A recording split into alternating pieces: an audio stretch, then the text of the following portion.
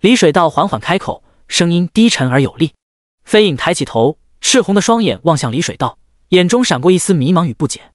你是我的仆从，也是我力量的延伸。李水道继续说道：“我将引领你走向更高的境界，但你也要忠诚于我，不得背叛。”飞影似乎听懂了李水道的话，他低下头表示臣服。李水道微微一笑，他伸出手掌，轻轻按在飞影的头顶，顿时。一股强大的法力从李水道的掌心涌出，涌入飞影的体内。飞影的身体开始颤抖起来，他的眼中闪烁着痛苦与渴望的光芒。但随着法力的涌入，他的身体逐渐发生了变化，原本暗灰色的皮肤变得更加光滑，骨刺也变得更加锐利。很好，飞影。李水道满意地点点头。从今往后，我们将共同修行，共同成长。飞影抬起头望向李水道，眼中充满了感激与敬畏。在魔界深处。影魔飞影如鱼得水，他疯狂地吞噬着魔气，杀戮着同族，身上的法力如同洪水猛兽般疯狂增长。而在一处昏暗的洞穴中，李水道盘膝而坐，闭目养神。他身上的阴影魔气若隐若现，仿佛与周围的环境融为一体。突然，李水道腰间的宝玉亮起了耀眼的光芒，他缓缓睁开眼睛，脸上露出了一抹玩味的笑意。诸位道友，好久没联系了，诸位可安好？陈重月的声音从宝玉中传来。还好，王全明简单的回应道：“尚可。”金蝶仙子也附和道：“一切如故。”凡圣法王的声音显得有些沉闷。“嗯，我还困在迷宫。”李水道的声音也传了出来。“还没找到虚空石吗？”陈重月的声音中带着一丝关切。“没有。”王全明叹了口气。一时间，宝玉中陷入了沉默。一年之后，宝玉再次亮起，从中传出了王全明的声音：“我遇到了一个暗影魔王。”被追杀了，看来你反杀成功了。陈重月的声音中带着一丝惊讶。受了伤在养伤，你们谁离我近，帮我护法。王全明发送了自己的位置。太远了。陈重月和金蝶仙子几乎同时说道：“我被困在一个阴影洞穴里，无法离开。”凡圣法王的声音中带着一丝无奈。李道友，你呢？王全明问道。我被困在迷宫里。李水道淡淡的说道。外面的影魔飞影继续着他的杀戮修炼，而洞穴中的李水道则继续修炼，完全不为所动。仅仅半个月后，诸位道友，告诉你们一个好消息，我已经获得了虚空石。王全明的声音突然打破了沉默：“到我这里来集合吧，我们可以一起建造破界传送阵，离开这个鬼地方。我们之前约定，传递重要信息之前是要有口令的。你先说口令。”金蝶仙子的声音中充满了警惕。宝玉里再次陷入了沉默。过了一会儿，王全明的声音有些不耐烦的响起：“哪有什么口令，把位置发出来。”凡圣法王的声音极其平淡，似乎是相信了王全明的话。王全明通过宝玉发出了位置，顺便还给出了阴影魔界一大片的地形。前段时间你还说被阴影魔王追杀，现在就说找到了虚空石，不合理啊！陈重月的声音中带着一丝怀疑：“我运气不错，我反杀了那个阴影魔王，从他身上获得了虚空石。”王全明解释道。好，我们这就来。凡圣法王回应道：“李道友怎么不说话？”金蝶仙子问道：“我还被困在迷宫里。”李水道淡淡的回应道：“从进入阴影魔界，你就被困在迷宫里，这都已经四五年了，什么迷宫你走不出来？”陈重月的声音中带着一丝讽刺：“哼，李道友分明是不相信我们。”金蝶仙子冷笑道：“李水道手抚玉牌默然无声，虽然心血来潮并没有示警，但他并没有完全相信命运的判断。”阴影之主据传有大成期的修为，太过低劣的命运感知之术，绝对感知不了这种强大存在对自己的恶意。片刻之后，李水道单手一扬，他的掌心之上，一只赤红的癞蛤蟆突然浮现。这头蛤蟆的皮肤上有着诡异而妖艳的纹路，这竟然是一头二阶的妖兽。他毫不犹豫地将宝玉投入了那癞蛤蟆的口中，并将这只蛤蟆留在了洞穴。接着，李水道起身，身上黑气缭绕。一件黑色的披风将他完全裹住了，这是他炼制的法器阴影披风，乃是用阴影魔界的魔族魔皮炼制而成，黑的如同深渊，仿佛能吞噬一切光明。李水道披上披风后，整个人仿佛融入了黑暗之中，只留下一双闪烁着寒光的眼睛。他走出洞穴，来到一个巨大的阴影魔族面前。这头阴影魔族体型庞大，仿佛一座巍峨的山岳，浑身长满了黑色的绒毛，散发着浓郁的魔气。他伸出十几根触须。犹如巨大的触手将李水道紧紧裹住，然后缓缓收入自己身体的绒毛之中。这便是如今的飞影，他已经成长到了三阶，成为了一头金丹级别的影魔。他的力量足以让任何生灵感到恐惧。然而此刻，他却像是一个乖巧的宠物，将李水道带离了此地。飞影在阴影魔界中纵掠如飞，他的身影在黑暗中若隐若现，如同一道幽灵般的闪电。他带着李水道很快就消失在了远方的黑暗中。当李水道离开后不久，洞穴之中那只赤红的癞蛤蟆突然剧烈的膨胀，砰！在一声震耳欲聋的轰鸣声中，它猛地爆炸开来，化作了一片浓郁的血雾。随后，血雾又化出了赤红的毒火，将洞穴里的一切烧得一干二净。那枚被癞蛤蟆吞下的宝玉，自然也彻底消散了。仙界，虚空草原之上，诸天仙盟的所在的重地，化神期修士静云子的面前挂着一块巨大的玉盘，玉盘之上五颗玉珠犹如星辰般熠熠生辉，每颗玉珠都蕴含着虚空之力，能够跨界传讯。这五颗玉珠乃是由诸天仙盟的炼器大师精心炼制，起名为玄天宝珠，是仙盟的镇盟之宝。玉珠之上金丝镶嵌着五个名字：李继道、王全明、陈重月、金蝶仙子、繁盛法王。这五人皆是仙盟精挑细细选的元婴期修士，深入那神秘的阴影魔界，为仙盟探寻那未知的世界。多年来，五人通过玄天宝珠的传讯，将他们在阴影魔界的所见所闻，全都传入仙盟的玉盘之中。玉盘之上，光影交错，犹如一幅幅画卷，展现了阴影魔界的种种奇异景象。仙盟原本对阴影魔界一无所知，但在这五人的努力下，仙盟逐渐揭开了那神秘世界的面纱。他们探寻了阴影魔界的地形，了解了影族的起源。原来影魔一族竟是由阴影魔界无处不在的阴影之力演化而来，他们可能是树上的一颗颗果实，也可能是淤泥中的一缕缕黑气，甚至可能是萤火闪过之后留下的那一抹飘渺的影子。这些信息对于诸天仙盟而言无比重要，即使他们五人无法布置出破界传送阵，他们也对仙盟对人类做出了足够的贡献。他们哪怕陨落在异界，也是有价值的。突然间，代表王全明的玄天宝珠竟然变得阴暗晦涩，仿佛被一股黑暗的力量所侵蚀。静云子眉头一皱，顿时面色凝重。这意味着王全明所持有的宝玉已经落入阴影魔族之手，更意味着王全明已经陨落。然而，更加诡异的是，玉盘之上竟然传出了王全明的声音。那声音与他本人一模一样，甚至他还在诱骗其他四人，让他们前往自己所在的地方汇合。静云子虽然能够收到讯息，但却无法将警告传给其他四人。他此时可谓又惊又怒。那阴影之主的神通，竟然真的能够炼化宝玉。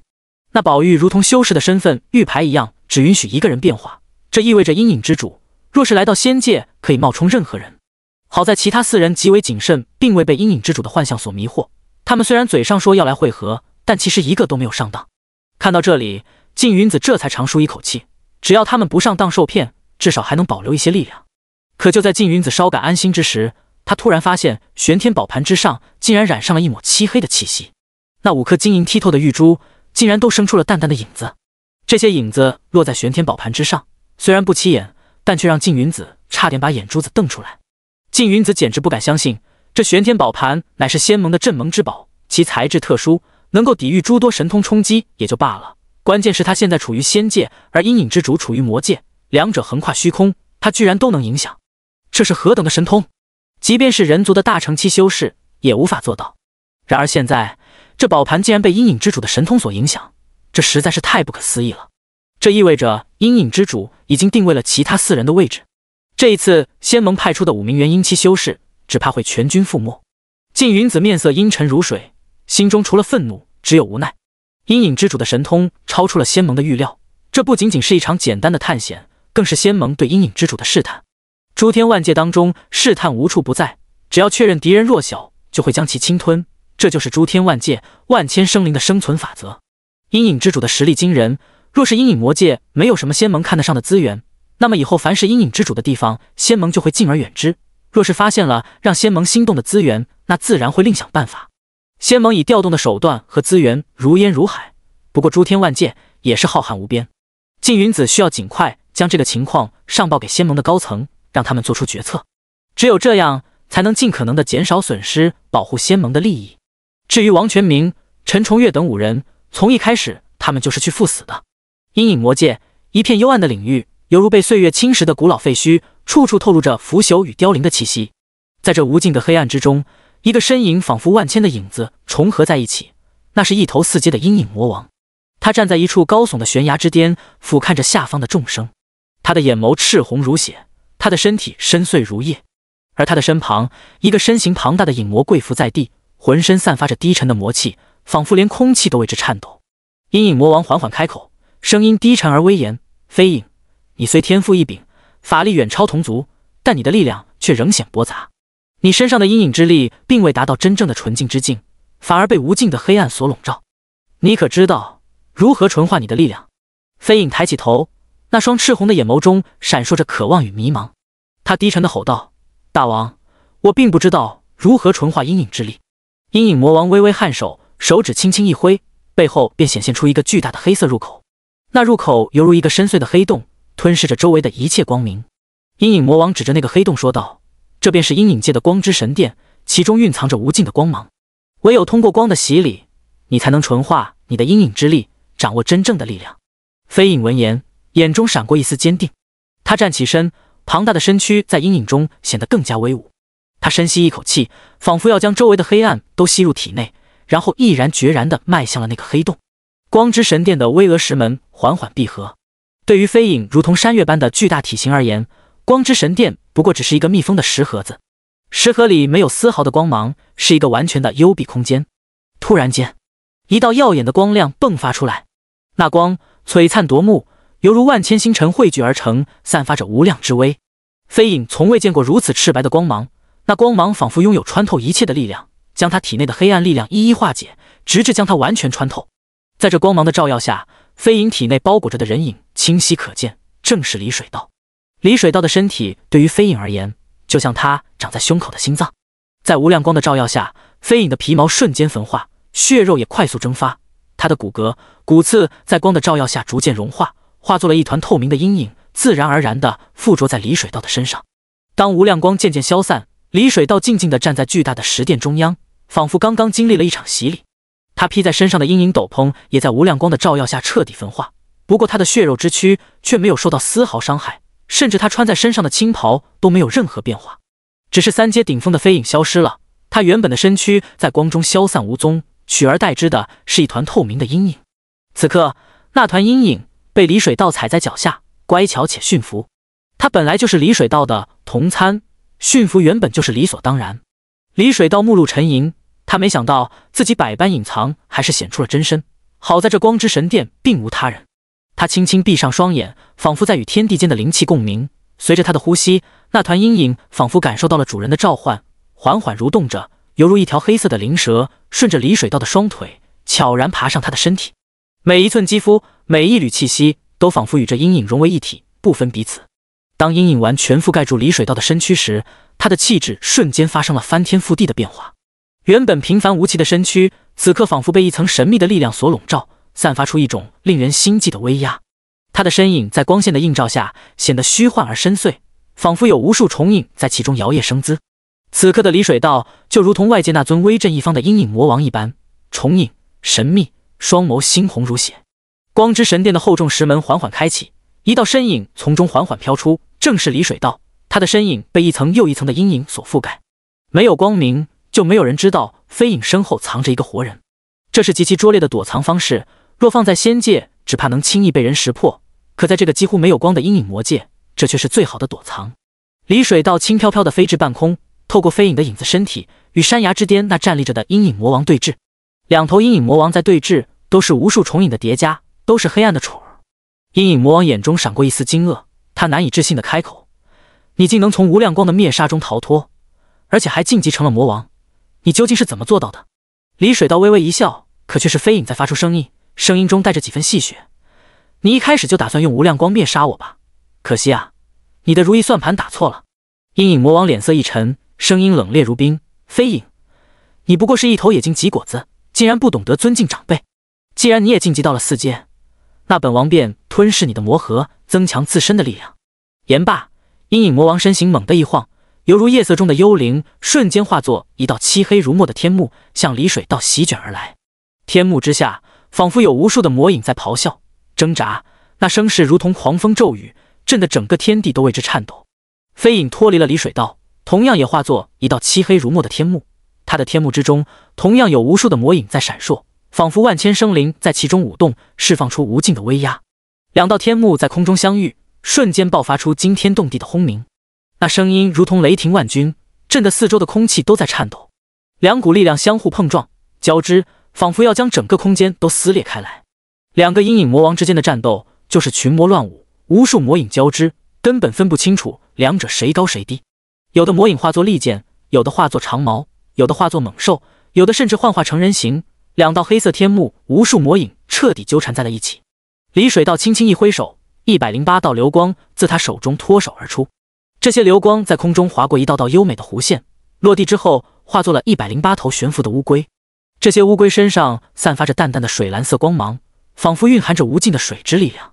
随后，那些乌龟开始缓缓转动，它们身上的水蓝色光芒越来越亮，仿佛要将整个天空都染成一片蓝色。这在整个阴影魔界都是难得一见的奇景。突然，一声巨响震彻天地，那水蓝色的光芒瞬间爆发开来，形成了一道巨大的天幕，将两个正在战斗的阴影魔王完全笼罩在内。这天幕之中，波涛汹涌，海浪翻滚，仿佛是一片无尽的海洋。碧海绝涛大阵。心花剧毒，大阵持续了片刻之后，李水道轻轻一挥手，那些乌龟便纷纷收回，化作流光，重新回到他的虚境。而那一头阴影魔王则在阵法与飞影的联合绞杀之下，化作了一颗魔核。飞影重新笼罩了李水道。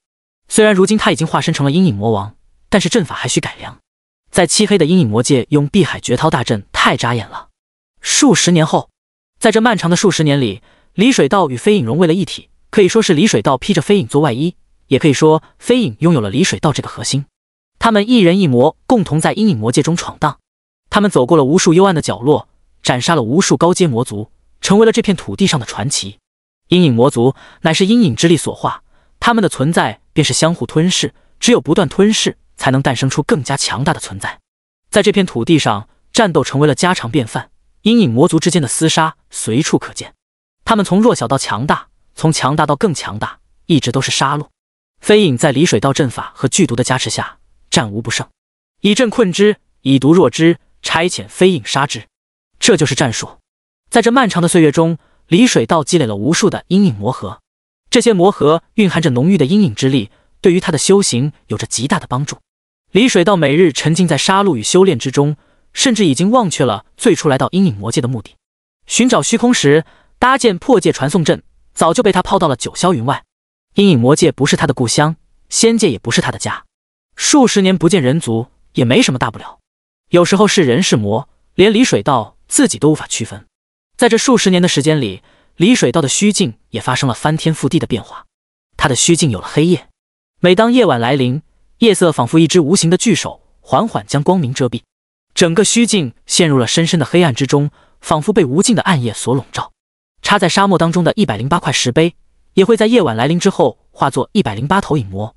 他们会在沙漠之中演练影魔大阵。此阵与碧海绝涛大阵同根同源，同样也是一百零八个阵基，只不过将二阶的乌龟换成了影魔。随着黑夜渐渐褪去，天边一抹淡淡的紫色霞光开始悄然出现。那霞光逐渐变得明亮起来，犹如紫色的水晶，晶莹剔透，散发着迷人的光彩。随着霞光的扩散。整个天空都被染成了一片淡淡的紫色，紫光之中，一朵白云悬浮于天空之中，如同披上了一袭紫色的外衣。在这紫霞与白云的映衬下，黑暗被彻底驱散了，大地重新焕发出了生机与活力。草木在阳光的照耀下茁壮成长，青蛙在荷叶上欢快的歌唱，整个世界都仿佛被重新洗礼过一般，变得更加美丽与宁静。而沙漠中那一百零八头影魔也重新化作了漆黑的石碑，散落在沙漠之中。只有夜色再次降临。才会化身为影魔，继续演练那变化无穷的影魔大阵。自从吸收了足够的阴影之力，虚境中便有了黑夜与白昼的更替。这种昼夜更替的规律，使得虚境变得更加真实与完整。而虚境之路的修炼，归根到底就是让自己那虚无缥缈、亦真亦幻的虚拟世界变得更加真实。虚境越真实，虚境之主越强大。除此之外，离水道的虚境之中，还自然孕育出了一条三阶的灵脉。这条灵脉宛如一条巨龙，蜿蜒在虚境之中，为整个世界提供了源源不断的灵气。在这充沛的灵气滋养下，李水道的修为也取得了突破性的进展。他感觉到自己已经突破了无相真君的境界，不再是四阶，而是五阶的存在，与仙界的化神期修士、魔界的阴影魔尊处于同一层次。昼夜更替，天象反复，这个境界取名为天象境，恰如其分。虚境之路最高只有四阶，突破四阶顶峰，只有死路一条。无相境以后的境界全都是杜撰出来的，即使是杜撰，也并非毫无根据。那些修炼到无相境顶峰的修士们，他们一定无数次的推算和揣摩过无相之后的境界，那应该就是天象境。与其说李水道修炼到了天象境，还不如说他开创了天象境。这条路前无古人，谁迈出谁就是开山祖师。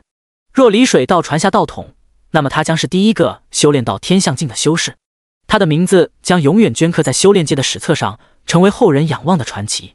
这一切仿佛都是天意所为。李水道心中感慨万分。他原本已经放弃了虚境之路的修行，认为这条路走到尽头也无法再有所突破。然而命运却如此奇妙，让他在无意之间达到了这一境界。世间之事皆是如此，放弃追求，放弃执着，反而能轻易达成。正所谓有心栽花花不开，无心插柳柳成荫。随着李水道成功突破了五阶天象境，飞影作为他的同参，也在这股力量的牵引下，顺其自然的晋升为阴影魔尊。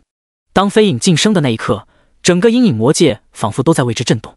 天际间一道道银光闪烁，如同流星划过夜空，洒下斑斓的光辉。这些银光交织在一起。形成了一幅幅诡异的图案，仿佛在诉说着古老的传说。突然，天空中出现了血色的闪电，它们如同狂暴的巨龙，在云层中翻腾咆哮。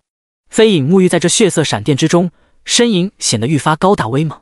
每一次闪电劈下，都能在他身后凝聚出一个恐怖的身影，仿佛是从地狱中走出的恶魔，令人心悸不已。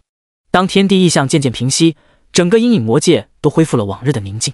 然而，就在这时，一个声音突然传入了飞影的耳中：“来万界深渊，主要见你。”飞影一愣，心中涌起一股莫名的悸动。主？难道是阴影之主？李水道眉头紧锁，心中也涌起了一股不祥的预感。万界深渊乃是阴影之主所在的神秘之地，充满了无尽的玄奥与威严。李水道虽然足迹遍布阴影魔界，但对于这片圣地，他却始终保持着敬畏与距离。然而，如今他却不得不踏足这片禁地。他的修为日益精进。终究是木秀于林，吸引了阴影之主的目光。李水道没有办法让飞影单独去往万界深渊，在漫长的修炼中，两者早已融为了一体。若是飞影脱离了李水道，单独前往万界深渊，其修为必将骤降一阶，这无疑会更加引起阴影之主的猜疑。因此，李水道只能亲自去往万界深渊，面见至高无上的阴影之主。传闻他有八阶的修为，堪比人族大成期修士。阴影魔界仿佛被一层永恒的夜幕所笼罩。星辰在这片黑暗的天空中暗淡无光，万界深渊则是阴影魔界的至暗之处，深不见底，仿佛直通虚无的尽头。深渊底部，一座巍峨的雕像静静伫立，那便是阴影之主。他的身躯由无数漆黑的石块拼接而成，每一块都仿佛蕴含着古老的力量，散发着冷冽而庄严的气息。他的面容在黑暗中若隐若现，双眼闪烁着幽深的光芒，仿佛能洞察世间一切秘密。在阴影之主面前，是一个巨大的广场，铺满了深色的石板，上面刻满了神秘的符文。这些符文在黑暗中闪烁着幽幽的光芒，宛如星辰点缀的夜空，既神秘又庄严。新晋的阴影魔尊飞影缓缓走到广场中央，他的身影在黑暗中显得愈发高大。他的双目血红，仿佛燃烧的火焰；他的每一步都仿佛踏在怨魂的躯体之上，无数的冤魂在哀嚎，在颤抖。他抬头望向阴影之主。深深的鞠了一躬，声音低沉而有力：“伟大的阴影之主，我飞影晋级魔尊，特来聆听您的教诲。”阴影之主沉默良久，仿佛在探寻着无尽的黑暗。他的声音带着莫名的低沉与苍凉：“无以窥见，你的阴影之中竟藏着一个人族修士，他与你的力量交织，如同黑夜与星辰相互辉映。”飞影低头，恭敬的回应，向伟大的阴影之主效忠：“我的主人，五十年前。”有五名人族修士胆敢闯入无知世界，我擒获了其中四人，却有一人逃脱。没想到竟被你寻得，并将其力量化为己用。你做得很好。阴影之主的声音继续回荡在空旷的深渊。飞影的语气依旧谦卑：“为主人效劳是飞影的荣幸。”阴影之主缓缓开口：“既然你已捕获人族修士，并将其力量融合吸纳，那么说明你有对付人族修士的手段。我有一项任务要交给你。”飞影挺直身躯。眼中闪过一丝坚定，飞影愿为主人赴汤蹈火，在所不辞。阴影之主目光深邃，你需前往阴山界，寻找人族在那里布置的破界传送阵。若你成功完成此任务，我将赐予你黑暗中的无上光明。飞影心中一震，脸上露出疑惑之色。光明？阴影之主微微一笑，仿佛看穿了飞影的心思。没错，阴影属于黑暗，却因光明而存在。你曾经历过光之圣殿的洗礼，那份痛苦与折磨，如今已化为你力量的一部分。”言罢，阴影之主面前突然出现一口古井，井中散发出柔和的光芒，仿佛月光般纯净无瑕。受到这光芒的照耀，飞影身上的阴影显得更加深邃而纯净，仿佛与这光芒融为一体。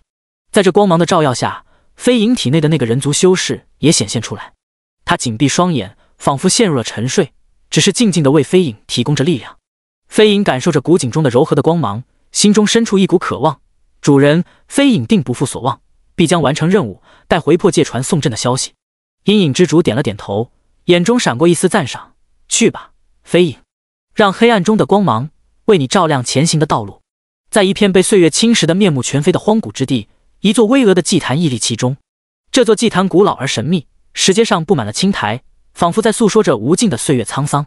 祭坛之上，黑色的火焰熊熊燃烧，火光闪烁间，仿佛有古老的符文在其中流转，散发出诡异而强大的气息。飞影踏入这片荒古之地，他的身影在黑色火焰的映照下显得愈发飘渺。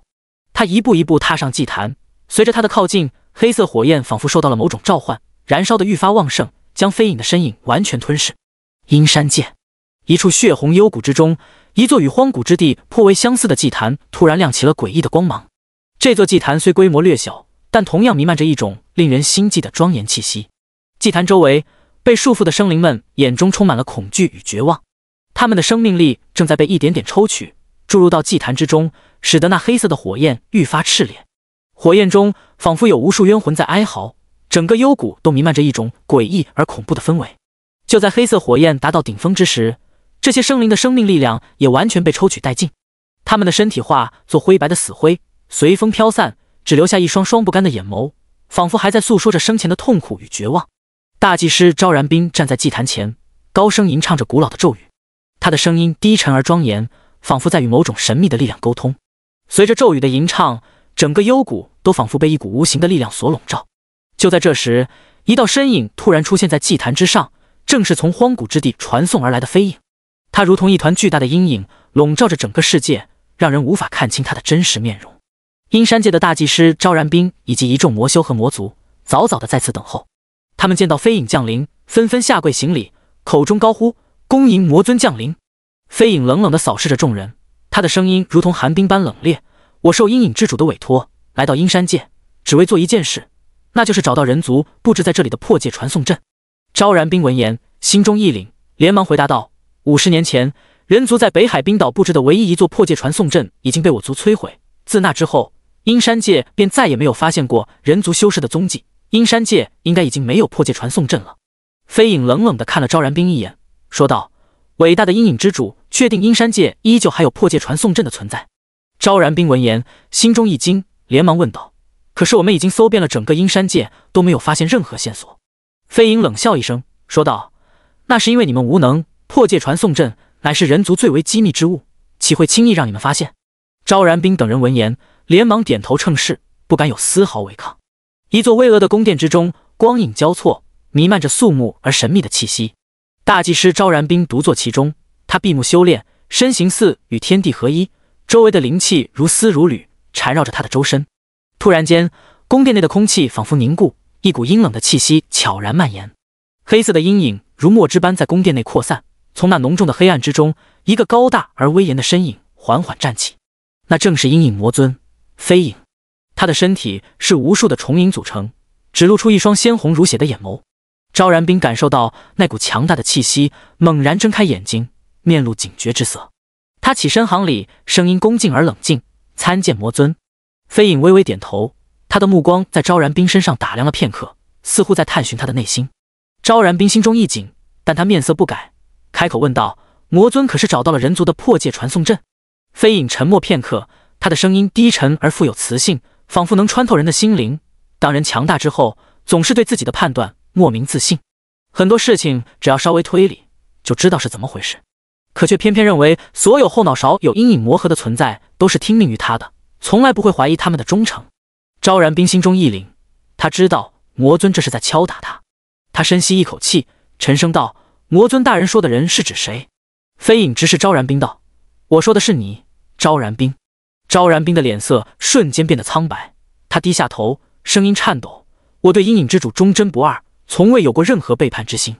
飞影轻笑一声，声音中透着一丝神秘：“昭然冰，你不必如此紧张。我所言，其实亦是在说我自己。”昭然冰闻言，双眼瞪大，心中涌起一股莫名的情绪。他仔细打量着眼前的飞影，只见其身影逐渐淡去，化作一道青烟，随后凝聚成形，化为一身青衫的英俊男子。那男子正是李水道。李水道眸光闪烁，如同夜空中最亮的星辰。他静静地注视着昭然冰，眼中闪烁着灵动的光芒，仿佛诉说着不为人知的秘密。昭然冰颤抖着声音，难以置信地问道：“你，你居然还活着？这究竟是怎么回事？”李水道微微一笑，神色平静。阴影之主并没有你们想的那般强大，他身处万界深渊，诸天万界的影子在他那里都有残留的痕迹。也正因如此，他才能感知到你藏在神殿下的破界传送阵。可他过于自信，不相信有人会背叛他，这才让你钻了空子。昭然冰深吸一口冷气，心中涌起一股复杂的情绪。他回想起与阴影之主斗智斗勇的日子，不禁感到一阵后怕。他紧锁眉头，沉声问道。阴影之主不知道破界传送阵就在神殿之下吗？李水道点了点头，没错，他虽能感知到传送阵的存在，但却无法确定其具体位置。昭然冰沉默片刻，心中涌起一股豪情。他抬起头，凝视着李水道，声音坚定：“那么，我们接下来该如何行动？”李水道目光深邃，淡淡的说道：“我们有两条路可选，一是我们一起通过破界传送阵离开阴山界，回到诸天仙盟，彻底放弃阴影魔界。”可这样一来，诸天仙盟将永远无法占领阴山界和阴影魔界，更不可能得到阴影之主的力量。昭然冰闻言，眉头紧锁。那么，第二条路又该如何走？李水道微微一笑。第二条路便是你先行离开阴山界，而我则发现你藏起来的破界传送阵，顺利完成阴影之主的任务。届时，飞影将会得到深渊冷光的洗礼，获得更为强大的力量。昭然冰闻言，沉默良久，似乎在权衡利弊。最终，他下定决心，声音坚定：“好，我会返回诸天仙盟，而你则代替我继续潜伏。”李水道点了点头，眼中闪过一丝赞赏。昭然冰眉头微皱，继续问道：“你打算如何联系诸天仙盟？毕竟阴影之主对空间极为敏感，你若稍有不慎，便会暴露。”李水道沉思片刻：“我有办法。你手中不是有乾坤灵域吗？我可以尝试在乾坤灵域内搭建破界传送阵，这样。”我们便能通过乾坤灵域进行联系和传送。昭然冰摇了摇头，眉头紧锁。乾坤灵域虽然神奇，但它毕竟是一个虚幻的小世界，根本无法承受破界传送阵的恐怖威力。更何况，乾坤灵域中并不产生虚空石，没有虚空石就不能够搭建破界传送阵。李水道闻言，眉头也皱了起来。破界传送阵需要虚空石作为基石，想要传送到哪个世界，就要用哪个世界的虚空石，从其他地方带过去根本没有用。而乾坤灵域属于虚境，根本不产出虚空石。两人陷入了沉思，气氛变得有些凝重。过了一会儿，昭然冰忽然抬起头，眼中闪过一丝决断。不如这样，你暂时按兵不动，等我将你的情况汇报给诸天仙盟的高层，他们定会有更好的决策和安排。李水道轻轻颔首，也罢，我便亲自巡视整个阴山界，你有足够的时间处理一切。话音未落，他脚下的影子开始扭曲，随后覆盖他全身。阴影降临，李水道的身影无比模糊，被一层又一层的阴影所笼罩。他的形态已成了无数重影。此时，他是阴影魔尊飞影。昭然冰站在一旁，目睹了这一切的变化，心中不禁感到一阵震撼。他低头恭敬地说道：“恭送魔尊大人巡视阴山界，愿大人一路平安。”一个多月后，李水道再次出现在阴山魔宫的深处。李水道站在幽暗的大殿中央，脚下的影子蜿蜒扭动。仙盟那边怎么说？昭然冰微微皱眉，声音中带着一丝无奈：“仙盟那边对你存有疑虑，他们并不信任你。”李水道眉头一挑，嘴角勾起一抹冷笑：“哦，难道我揭穿了你的身份，放你返回仙盟，还不能证明我对人族的忠诚？”昭然冰面色一沉，缓缓道：“你恐怕不知，数十年前，你们五人中出了一个叛徒。”李水道眼中闪过一丝惊异：“叛徒是谁？”昭然冰深吸一口气，缓缓吐出那个名字。繁盛法王，李水道闻言，眼中闪过一丝寒芒。竟然是他，他做了什么？昭然冰继续道：“当初阴影之主入侵悬空玉盘，截获了你们五人的位置，仙盟都以为你们五人已陨落，却不料那凡圣法王竟在阴影魔界搭设了破界传送阵，顺利返回了诸天仙盟。他载誉而归，受尽瞩目。大乘期修士亲自接见，确认他依旧是人族，身上没有修炼半点魔功，也未沾染魔气。李水道眉头紧锁，那后来呢？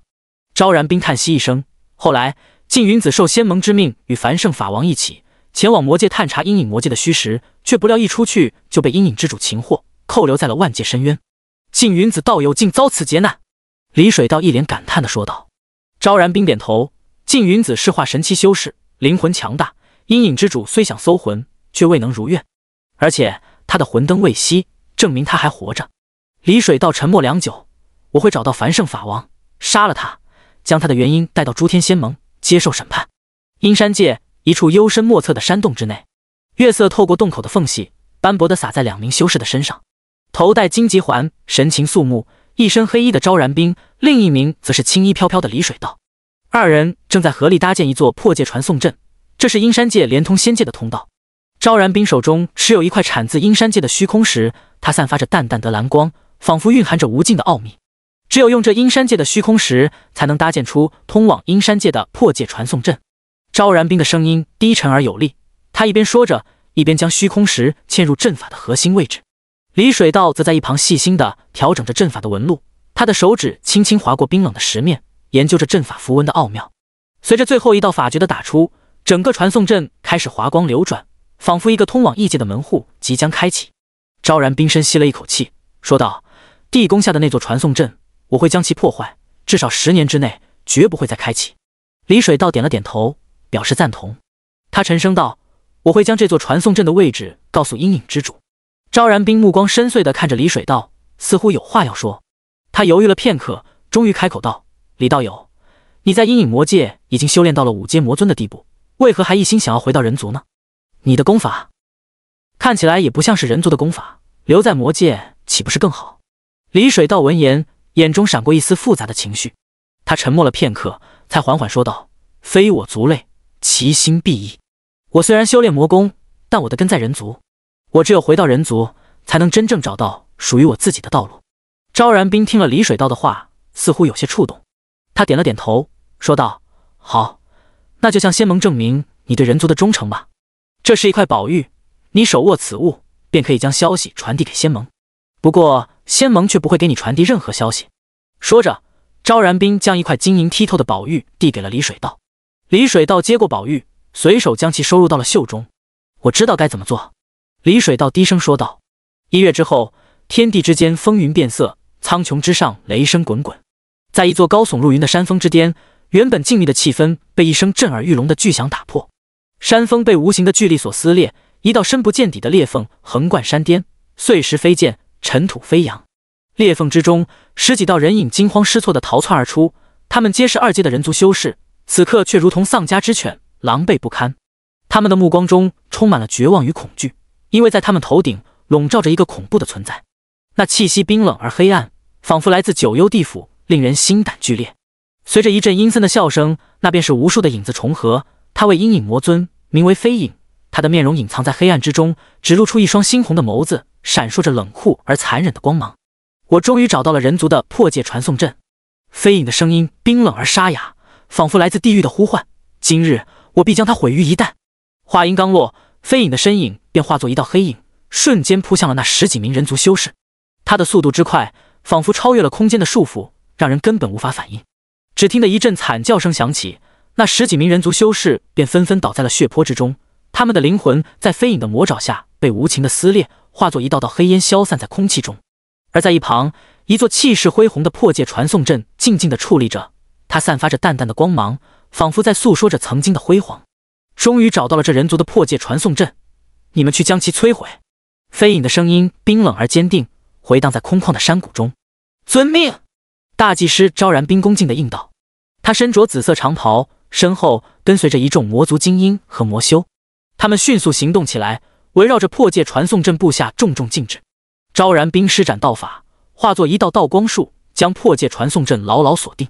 随后，他低声吟唱，周围的空气开始泛起阵阵涟漪。随着咒语的结束，破界传送阵突然爆发出耀眼的光芒，仿佛要将整个山谷照亮。”然而，在昭然冰等人的魔力压制下，光芒迅速暗淡下去，取而代之的是一阵剧烈的震动。在震动中，破界传送阵开始崩裂，一道道裂纹如同蜘蛛网般迅速蔓延开来。最终，随着一声巨响，整个传送阵彻底崩塌，化作一堆废墟。昭然冰从废墟中捡起一块蓝色的石头，石头散发着淡淡的光芒，仿佛蕴含着无尽的神秘力量。魔尊大人，这便是建造破界传送阵的关键材料——虚空石。昭然冰恭敬地将虚空石呈献给飞影。飞影接过虚空石，眼中闪过一丝满意之色。好，有了这虚空石，我便可以向阴影之主复命，为我族大业再添一笔功绩。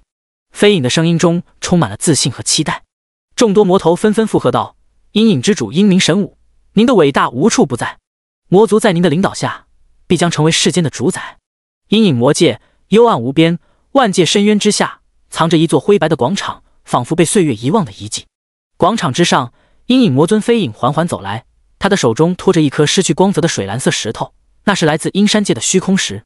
伟大的阴影之主，我已完成了您交代的任务。飞影的声音低沉而恭敬，他的目光凝视着前方那尊高大巍峨、如同雕像般的神秘存在——阴影之主。阴影之主缓缓睁开双眼，眼中闪烁着幽深的光芒，仿佛能洞察世间一切虚妄。他微微点头，声音悠远而深邃：“很好，飞影，你不愧是我看中的子嗣。你已完成了一项重任，接下来你将接受深渊冷光的洗礼，以进一步提升你的阴影之力。”随着阴影之主的话语落下，一口古井凭空浮现。散发出淡淡的冷光，这冷光深邃而纯净，仿佛能洗涤一切污浊。飞影缓缓走进古井，他的身体在冷光的照耀下，仿佛被一层神秘的力量所包裹。啊！飞影突然发出一声低吼，他的身体开始颤抖，仿佛承受着巨大的痛苦。然而，他的眼神却愈发锐利，仿佛在这痛苦中找到了某种力量。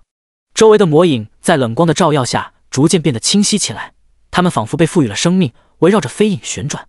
这些魔影是飞影力量的象征，也是他在阴影魔界中的依仗。随着时间的推移，飞影的气息越来越强大，他的身影在冷光中愈发高大。终于，当最后一缕冷光消散时，飞影缓缓睁开了双眼，他的眼中闪烁着比之前更加深邃的光芒。感谢伟大的阴影之主！飞影恭敬地跪拜在阴影之主面前，他的声音充满了敬意和感激。阴影之主微微点头，声音中透露出一丝赞许：“很好，飞影。”你的进步让我感到欣慰，不过人族始终是我们最大的敌人。现在我交给你第二个任务，斩杀一个叛徒。飞影的眉头微皱，他的脑海中浮现出一个人影，那是一个他曾经熟悉的人，一个背叛了人族的叛徒。此人名为繁盛法王。阴影之主的声音再次响起，他曾经为了幽光菩提背叛了人族，然而当他得到了无馈赠的幽光菩提之后，却又背叛了我们阴影魔界。如今他躲藏在仙界之中。你的任务就是找到他，将他斩杀，并将他的灵魂带到吾的面前。飞影的眼中闪过一丝寒芒，他深深的吸了一口气，然后恭敬的回答道：“遵命，伟大的阴影之主，我会尽快完成这个任务，为您带回凡圣法王的灵魂。”说完，飞影的身影逐渐消失在阴影之中，只留下那尊高大巍峨的阴影之主，静静的矗立在黑白广场之上。仙界浩渺，无边无垠，云雾缭绕，星辰闪烁，在这广袤无垠的天地间。有一处荒芜岛屿，孤悬于茫茫海域之中。岛上生活着一群土著人，他们皮肤粗糙，衣衫褴褛，但眼神中却透露出一种原始的坚定与狂热。他们崇拜着一位名为阴影之神的神秘存在，深信他能带给他们力量与庇护。岛屿之上矗立着无数阴影之神的图腾，这些图腾用木头和绳子粗糙地勾勒出来，虽然简陋，却蕴含着土著人深深的信仰与敬畏。这一日，土著人举行盛大的祭祀仪式。他们搭设起高高的祭坛，将从海中捕猎的生灵一一献上。火焰熊熊燃烧，黑烟滚滚升腾，空气中弥漫着一种诡异而庄重的气氛。伟大的阴影之主啊，请降临到我们的岛屿吧！土著人长老手持权杖，高声呼喊着，他的声音在空旷的岛屿上回荡，显得异常洪亮而庄严。其他土著人也纷纷跪倒在地，双手合十，口中念念有词。他们用那古老的魔界语言。虔诚地呼唤着阴影之神的降临。突然，祭坛之上燃起了黑色的火焰，那火焰不同寻常，带着一股阴冷而诡异的气息。紧接着，一团庞大的阴影从天而降，笼罩了整个祭坛。阴影之主降临了！土著人们激动地欢呼着，脸上露出狂热的神情。他们仿佛看到了希望的曙光，深信这位阴影之主将会帮助他们猎杀海中的妖兽，拯救他们的族群。然而，阴影之主并非他们所想象的那样仁慈。这位降临的阴影魔尊飞影，仿佛无数魔影的重合，眼神中透露出鲜红的血光。他看着这些无知而虔诚的土著，眼中闪过一丝不屑：“你们这些卑微的生灵，也配信仰阴影之主？”飞影冷漠地说道，他的声音冰冷而残酷，仿佛来自九幽地狱。土著长老闻言，脸色一变。连忙跪伏在地，颤声道：“伟大的阴影之主啊，我们对您充满了敬意与信仰，请您帮助我们猎杀海中的妖兽吧，否则我们的族群将面临灭顶之灾啊！”飞影冷笑一声，挥手间画出无数影子，将这些土著人一一杀死。他们的身体在影子下逐渐消散，化为一道道黑烟，消散在空气中。整个岛屿上瞬间充满了恐怖和死亡的气息。那些曾经信仰阴影之神的土著人，如今却成了他杀戮的对象。瞬息之间，整座岛屿都化作了人间地狱。在万界深渊的深处，阴影之主暴怒的咆哮声如狂风骤雨：“你在做什么？为何要对那些信仰我的人类下此毒手？”阴影之主的声音如同滚滚雷霆，在飞影的神魂深处回荡。然而，飞影却面无表情，他的声音冷漠而坚定：“没错，你用深渊冷光纯化了我的阴影之力，却在我的灵魂之上布下了重重枷锁。你只需一念之间，便可让我灰飞烟灭。”你想让我成为你的傀儡，甚至在我继续强大之后将我彻底吸收？阴影之主闻言顿时语塞，他沉默片刻，才缓缓开口：“你既已知晓，又何苦如此？”飞影冷笑一声，灵魂的声音充满决绝：“我飞影就是宁死不屈。”言罢，飞影猛地扯破了自己的神魂，只见一股股精纯无比的阴影之力如烟雾般消散，他的身影也逐渐变得模糊起来。不！阴影之主惊呼一声。他感受到了与飞影之间的最后牵绊正在迅速消失，飞影的神魂渐渐消散，他的声音却在这虚空之中回荡：“阴影之主，你自诩掌控万物，却没想到会有今日之果吧？我飞影虽死，却也不愿再做你的傀儡。我就是这么有个性。”随着飞影的话音落下，他的身影终于完全消散，只留下一片空荡荡的虚空。万界深渊，深渊底部，阴影之主呆立在原地，他的心中充满了震惊与不解。他自问掌控万界，却没想到竟然掌控不了自己的族人。飞影的死对他来说无疑是一个巨大的打击。他不仅失去了一个信仰他的人族势力，更失去了一个强大助手。怎么会有魔族宁愿选择死亡，也不愿选择受自己硬币？仙剑，李水道手握飞影的五阶魔核，轻轻翻转，魔核便化作一道黑光，悄然消失在他的虚境之中。他的另一只手紧握着一块晶莹剔透的宝玉，那是诸天仙盟赐予他的信物。可单向联系仙盟高层。然而此刻，李水道眼中闪过一丝决绝，手指轻轻一捏，那宝玉便在他手中化作了一团粉末，随风飘散。此刻，李水道不仅背弃了阴影之主，更是不鸟诸天仙盟。他现在已经回到了仙界，没有必要再受人摆布，任何时候都要主宰自己的命运，而不是沦为强者棋盘上的棋子。什么阴影之主、诸天仙盟，完蛋去吧！虚境之中，夜幕低垂，星辰如尘。点缀着无尽的幽暗。如今虚境的黑夜已不再是纯粹的黑暗，而是融入了丝丝缕缕的星光，宛如无数精灵在黑暗中跳跃嬉戏。在这幽深的虚境里，黑夜的力量大幅增强，完全超越了紫阳之力化作的紫色霞光。昼短夜长，成为了这片天地的常态。陆地之上，各种野生植物都逐渐偏向于夜生。地面上的灵植普遍闪烁着微光，仿佛是星辰坠落凡间。一般的植物则大量死亡。能够存活下来的只有灵植。夜色之下，沙漠也没有丝毫的酷热，独有的夜光灵植渐渐向着沙漠与戈壁蔓延，将原本荒凉的沙海点缀的生机盎然。沙漠中那一道永恒不灭的旋风，如今已飞至更加广阔无垠的空中。它呼啸着，让整个虚境的空气流动了起来。海面的水，天上的云，空中的风，阴影魔尊飞影是离水道的同参，更是这个虚境世界的守护神。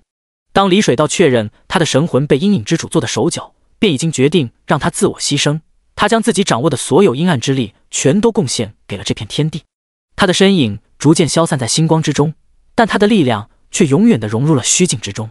虚境才是这一切的根本，飞影不过是虚境的守护者罢了。只要虚境还在，李水道就可以随时创造出第二个飞影。飞影从来都没有真正的自我人格，他的人格就是李水道自己。这便是同参的玄妙。即使阴影之主也未曾见过，自然不知其中根本。碧波万顷，茫茫海洋无垠。在这广袤的天地之间，李水道端坐于一头灵龟的甲壳之上，随着海浪轻轻摇曳，宛如一片漂浮在汪洋中的孤舟。岁月流转，李水道的修为虽已触及五阶，可飞影的陨落却使他失去了化神级别的惊天战力，他的战力大幅衰退。虽然此地无人追杀，无人瞩目，可以默默修炼，寻求突破，但也要尽快准备自己的杀手锏。毕竟危险不知何时就会来，想要面对危机力挽狂澜，独善其身。只有强大的战力，在阴影魔界的五十年也并非毫无收获。离水道的虚境之中蕴藏着极其精纯的阴影之力，等级已经高达了五阶，是属于化神级别的力量。只不过阴影之力不同于紫阳之力的璀璨耀眼，它更像是一种幽暗的毒素，在无声无息中侵蚀着一切。这种力量更适合用在毒攻之上，与毒结合，才能成为自己克敌制胜的利器。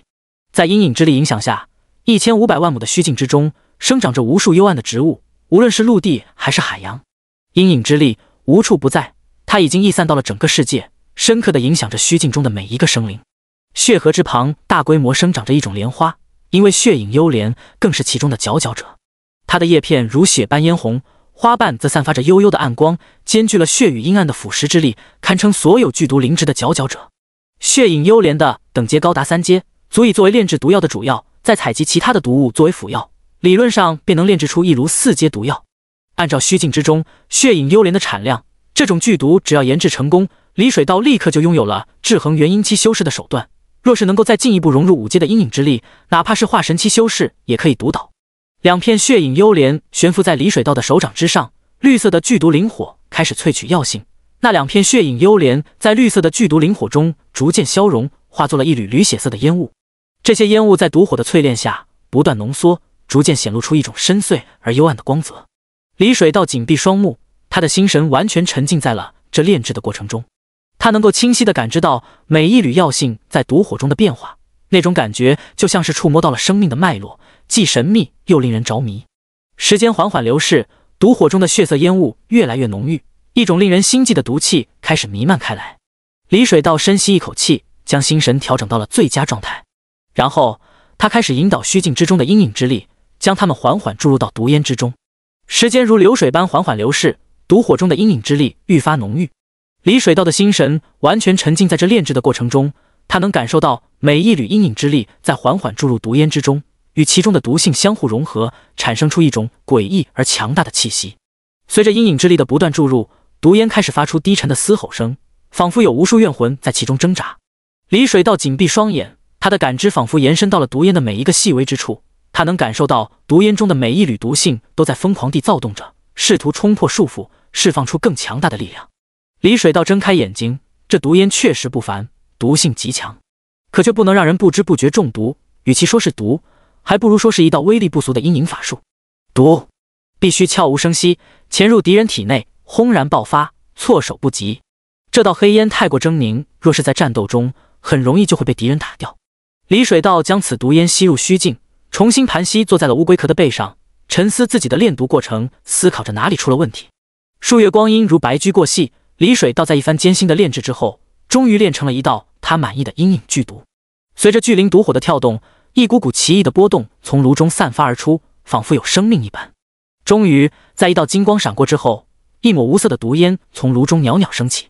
这毒烟宛如幽灵，无声无息，即便是沐浴在灿烂的阳光之下。也只是隐约间透出一丝淡淡的血光，仿佛是被鲜血染红的薄雾，却又能轻易的在空气中消散，不留一丝痕迹。李水道凝视着这抹毒烟，眼中闪过一丝满意的光芒。他深知，这不仅仅是一抹毒烟，更是他对毒术的深刻理解与运用的结晶。他轻轻一挥手，那抹毒烟便如同有灵智一般，缓缓飘向他的掌心。在掌心之上，毒烟缓缓凝聚，化作一颗细小的黑色珠子，表面散发着幽幽的光芒。仿佛蕴含着无尽的威力。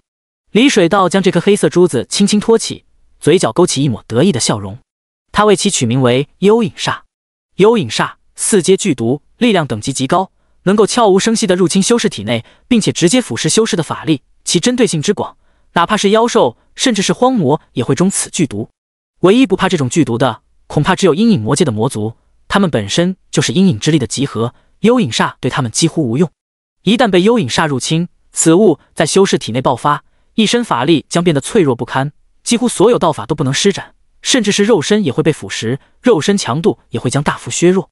以阵困之，以毒弱之，弱而杀之，这就是自己的制敌之道。只有这样的战法，才能够最大发挥自己的优势。盘膝坐在海龟背上揣摩道法的李水道突然神色一动，他的目光突然一凝，远处的天际线上，一群身影破空而来。他们身穿粗布僧袍，脚下却踏着云气，行动间飘然若仙。这群修士的背上各自附着一座石碑，石碑之上雕刻着形态各异的石佛，每一尊石佛都仿佛蕴含着无尽禅意，令人心生敬畏。尽管背负着沉重的石碑，但这些苦行僧飞行的速度却丝毫不慢，转眼间便来到了李水道的面前。他们围绕在李水道周围，眼中闪烁着好奇与警惕的光芒。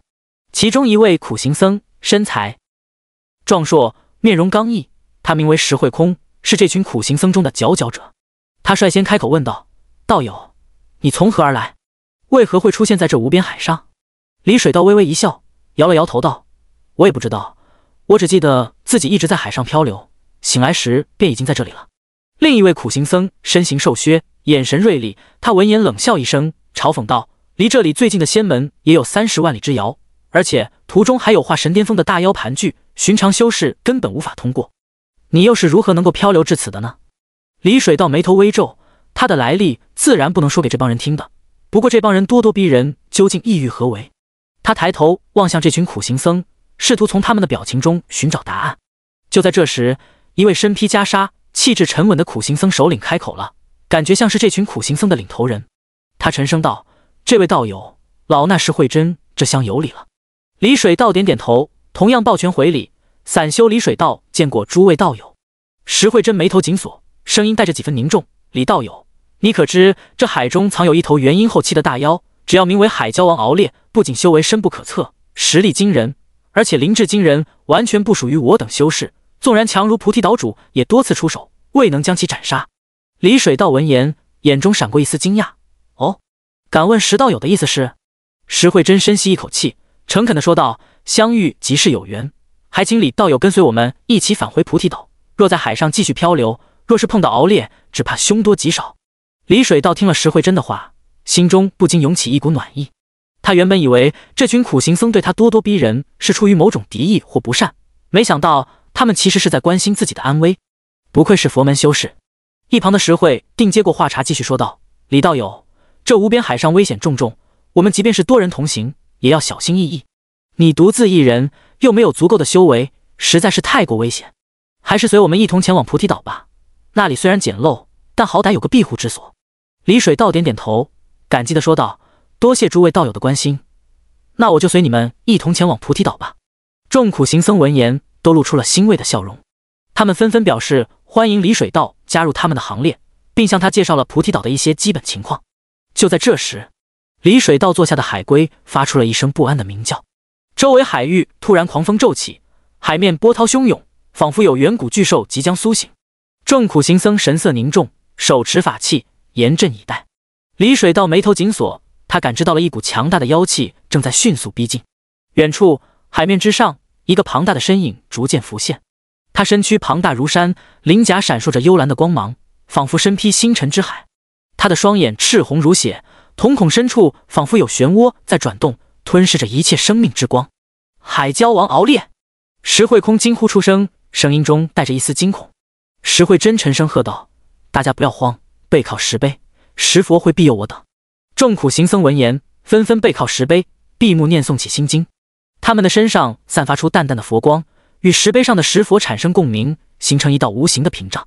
石慧真开口了：“李道友，你且退下，这海蛟王由我们来对付。”李水道闻言。点了点头，便退到了众苦行僧的身后，将注意力集中在了那逐渐靠近的海蛟王敖烈身上。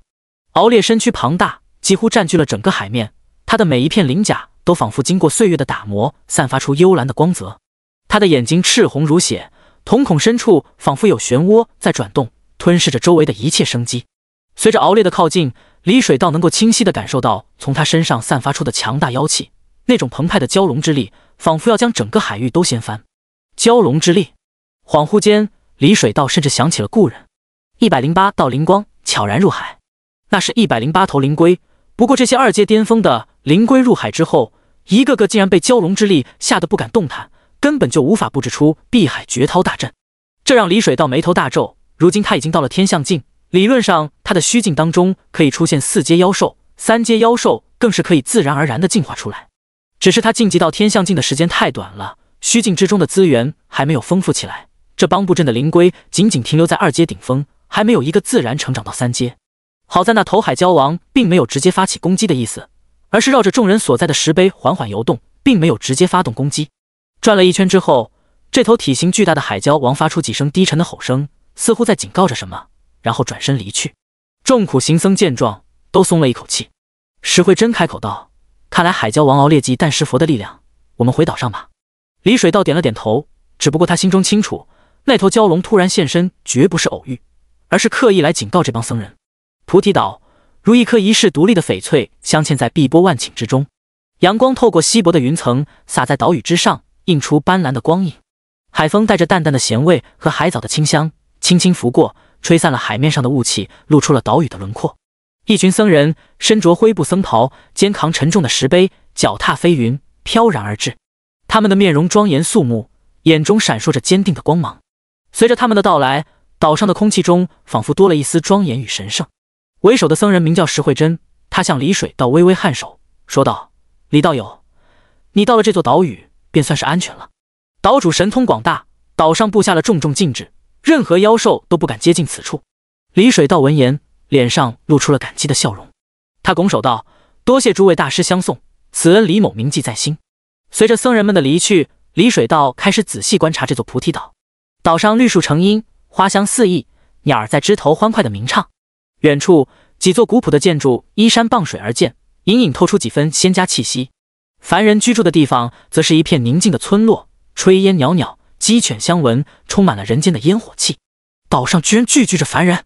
李水道眼中闪过一丝惊异，他信步走向正在田间辛勤劳作的农夫，满脸好奇地问道：“这位大哥，你们是世代居住在此吗？”农夫停下手中的锄头，抬头看向李水道，见他气度不凡，显然是一名修士，于是恭敬地回答道：“仙长有所不知，我们并非世居此地。多年前，菩提岛的岛主慈悲为怀，见我们那里生活困苦。”便以无上法力将整个村子连同数千人一起送到了这里。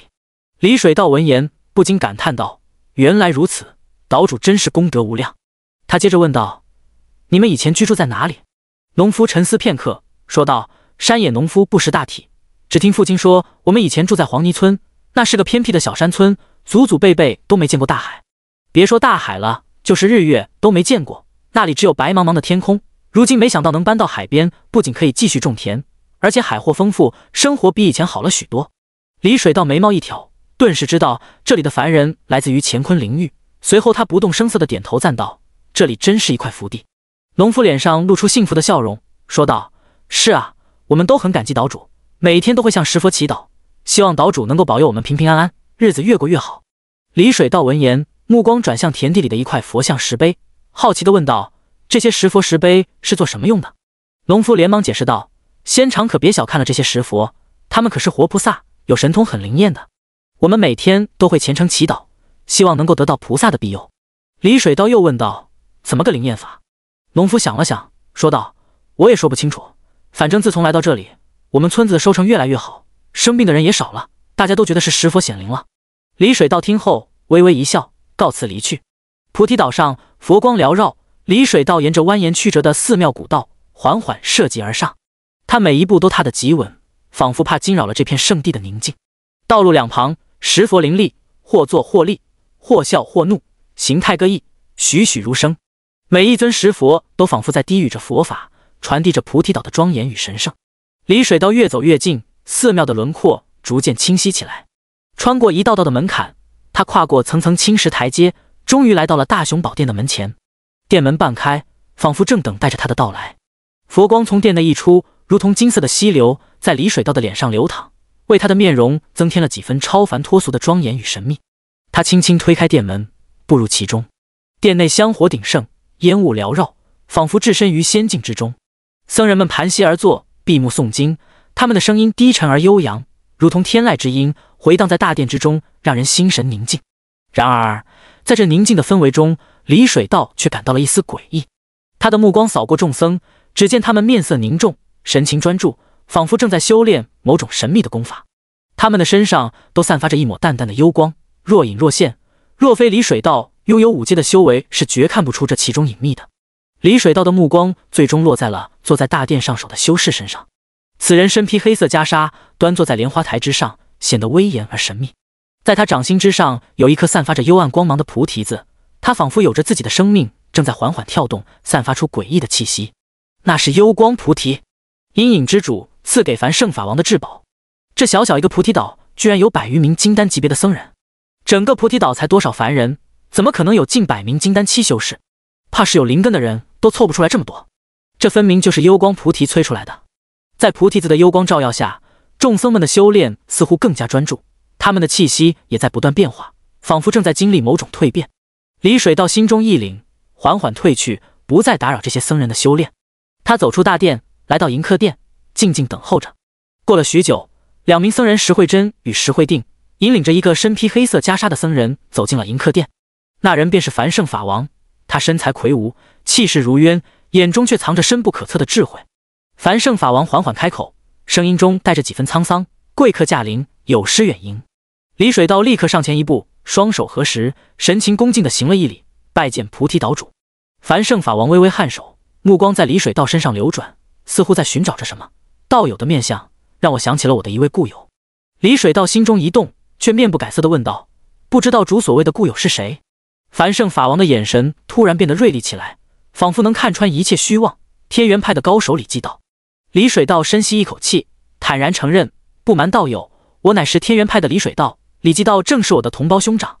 家门不幸，多年前他在诸天仙盟陨落，我至今仍感痛惜。”凡圣法王闻言，眼中闪过一丝恍然之色，原来是李继道的胞弟，难怪你们长得一模一样。真是失敬了。李继道当年与本座并肩作战，深入异界共抗魔族，他的英勇无畏，我至今记忆犹新。没想到他的胞弟也如此出色，真是天元派之幸啊！李水道面上却保持着微笑。岛主过奖了。就在这时，凡圣法王的画风突然一转，双眼微眯，似乎要看透李水道的内心。我这菩提岛地处偏僻，鲜有外人知晓，不知李道友是如何得知此地，又是从何而来呢？李水道心中一凛。知道这个问题不好回答，他深吸一口气，镇定的回答：“我是海上漂泊而来，偶然遇到慧真和慧定几位道友，他们邀请我来的。”呵呵，从海上飘来的。凡圣法王满脸都是不信之色。李水道也是死猪不怕开水烫，问就是海上飘来的，咬死就是这句话，多的一句话也不解释。谎言向来都是越解释破绽越多，与其千言不如一默。凡圣法王双眉紧锁，目光如炬，紧盯着李水道。他几乎是一字一顿的说道：“你说谎，你叫李继道是从黑岛而来。”李水道脸上露出疑惑之色：“黑岛，那是什么地方？我从未听说过。”凡圣法王冷哼一声：“黑岛是我给他取的名字，岛上之人皆是黑人，皮肤黢黑，崇拜阴影之神。”李水道摇了摇头：“我真不知道，我在大海之上随波逐流，漂泊已久，从未见过您所说的黑岛。”凡圣法王目光如电，紧紧盯着李水道。似乎想要从他脸上看出什么破绽。片刻后，他深吸了一口气，道：“好，既然你如此说，那你可敢跟我一同前往黑岛一趟，看看究竟如何？”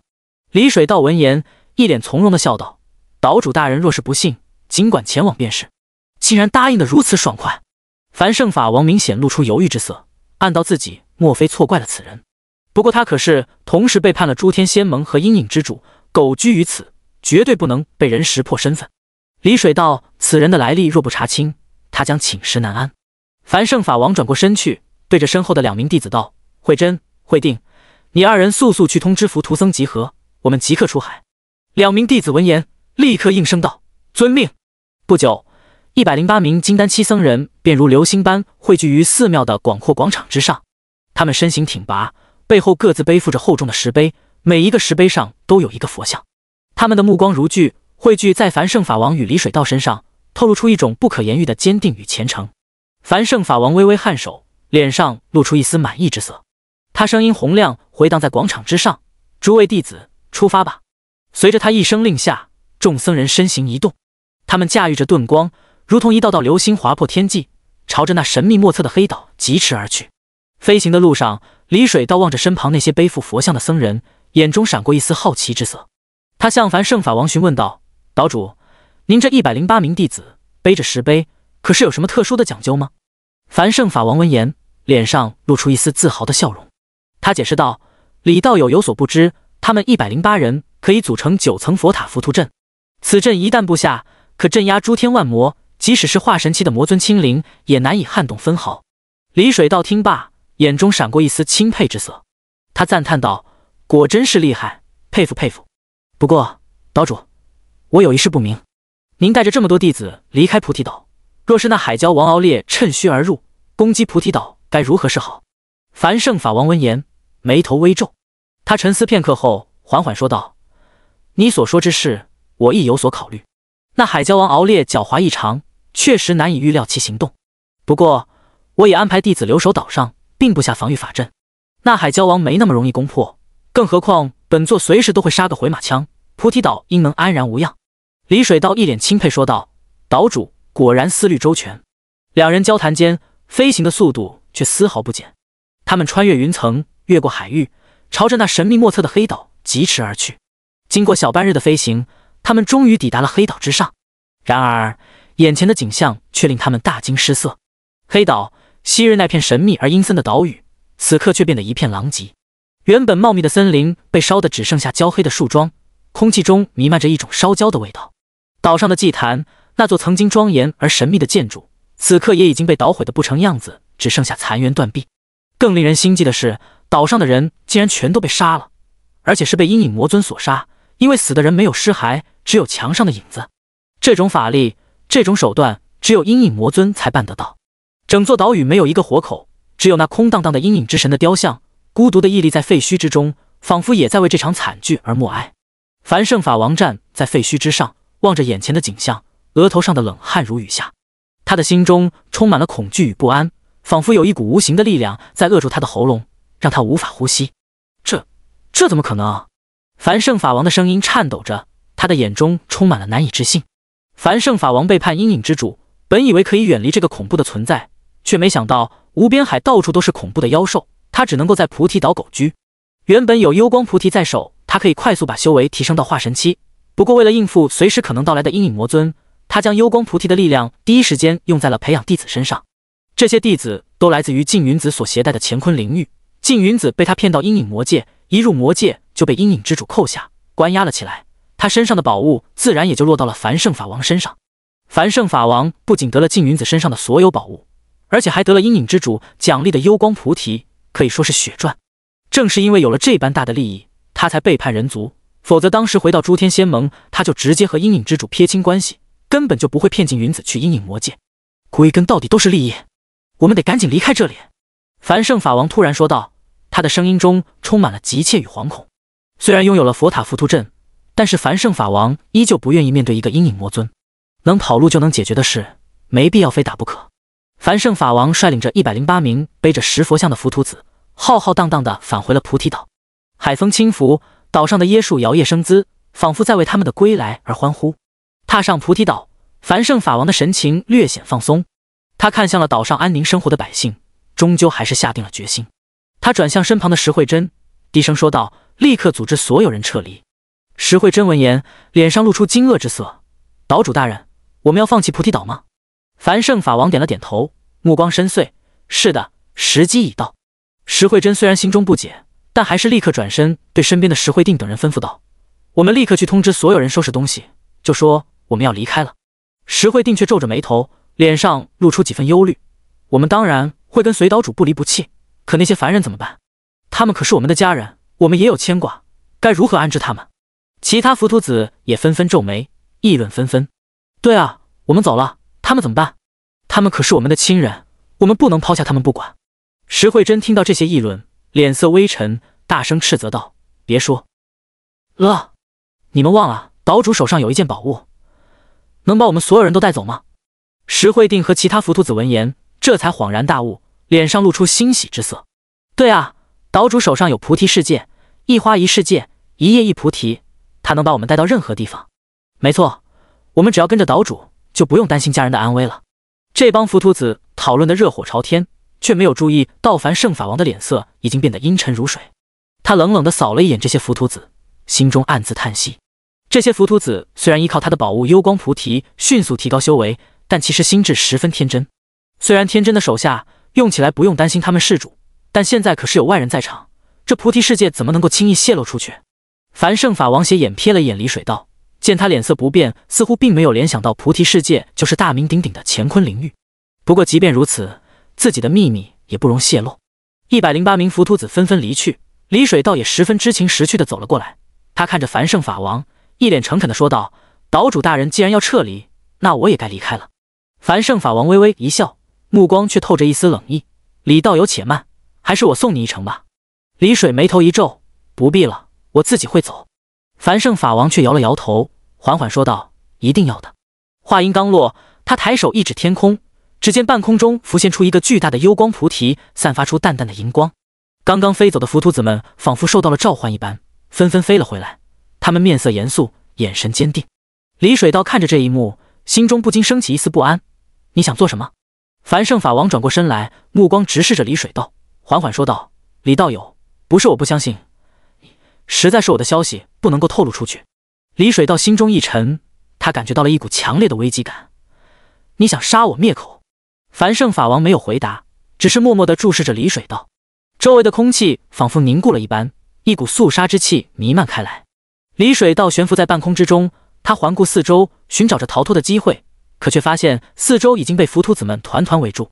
凡圣法王目光如炬，缓缓开口，声如洪钟震天响：“李道友，你虽遮掩的巧妙，但魔气难掩，今日终于露出狐狸尾巴。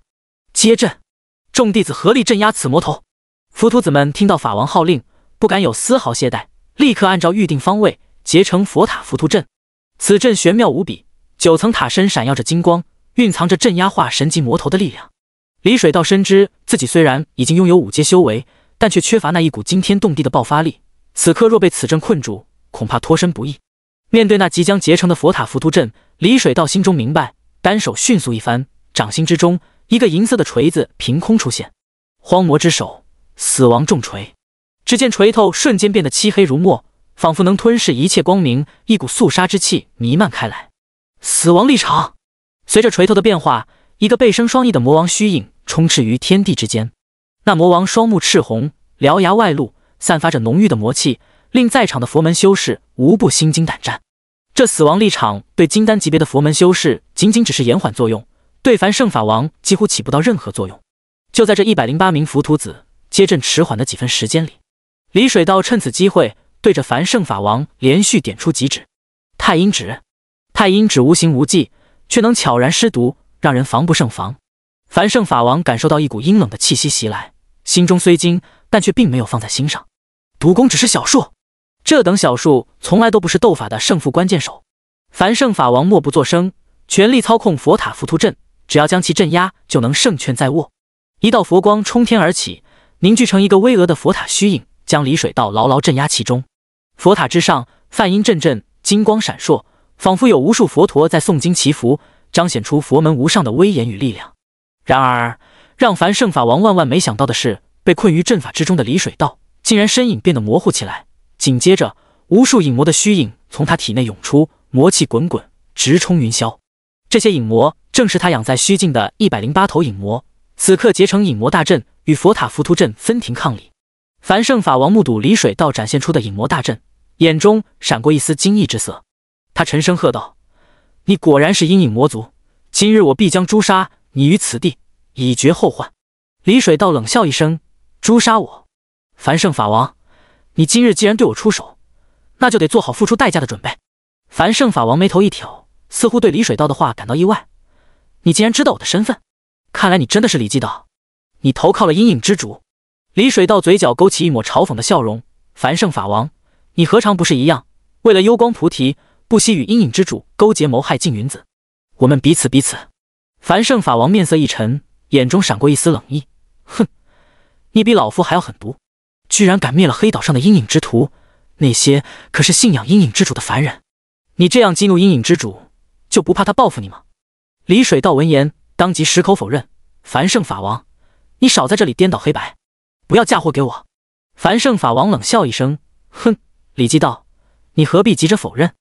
你我都知道，这世上没有绝对的敌人，只有利益。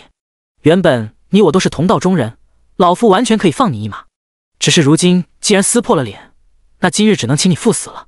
佛塔浮屠阵中，一百零八名浮屠子齐声诵经，佛法无边，法力滔天。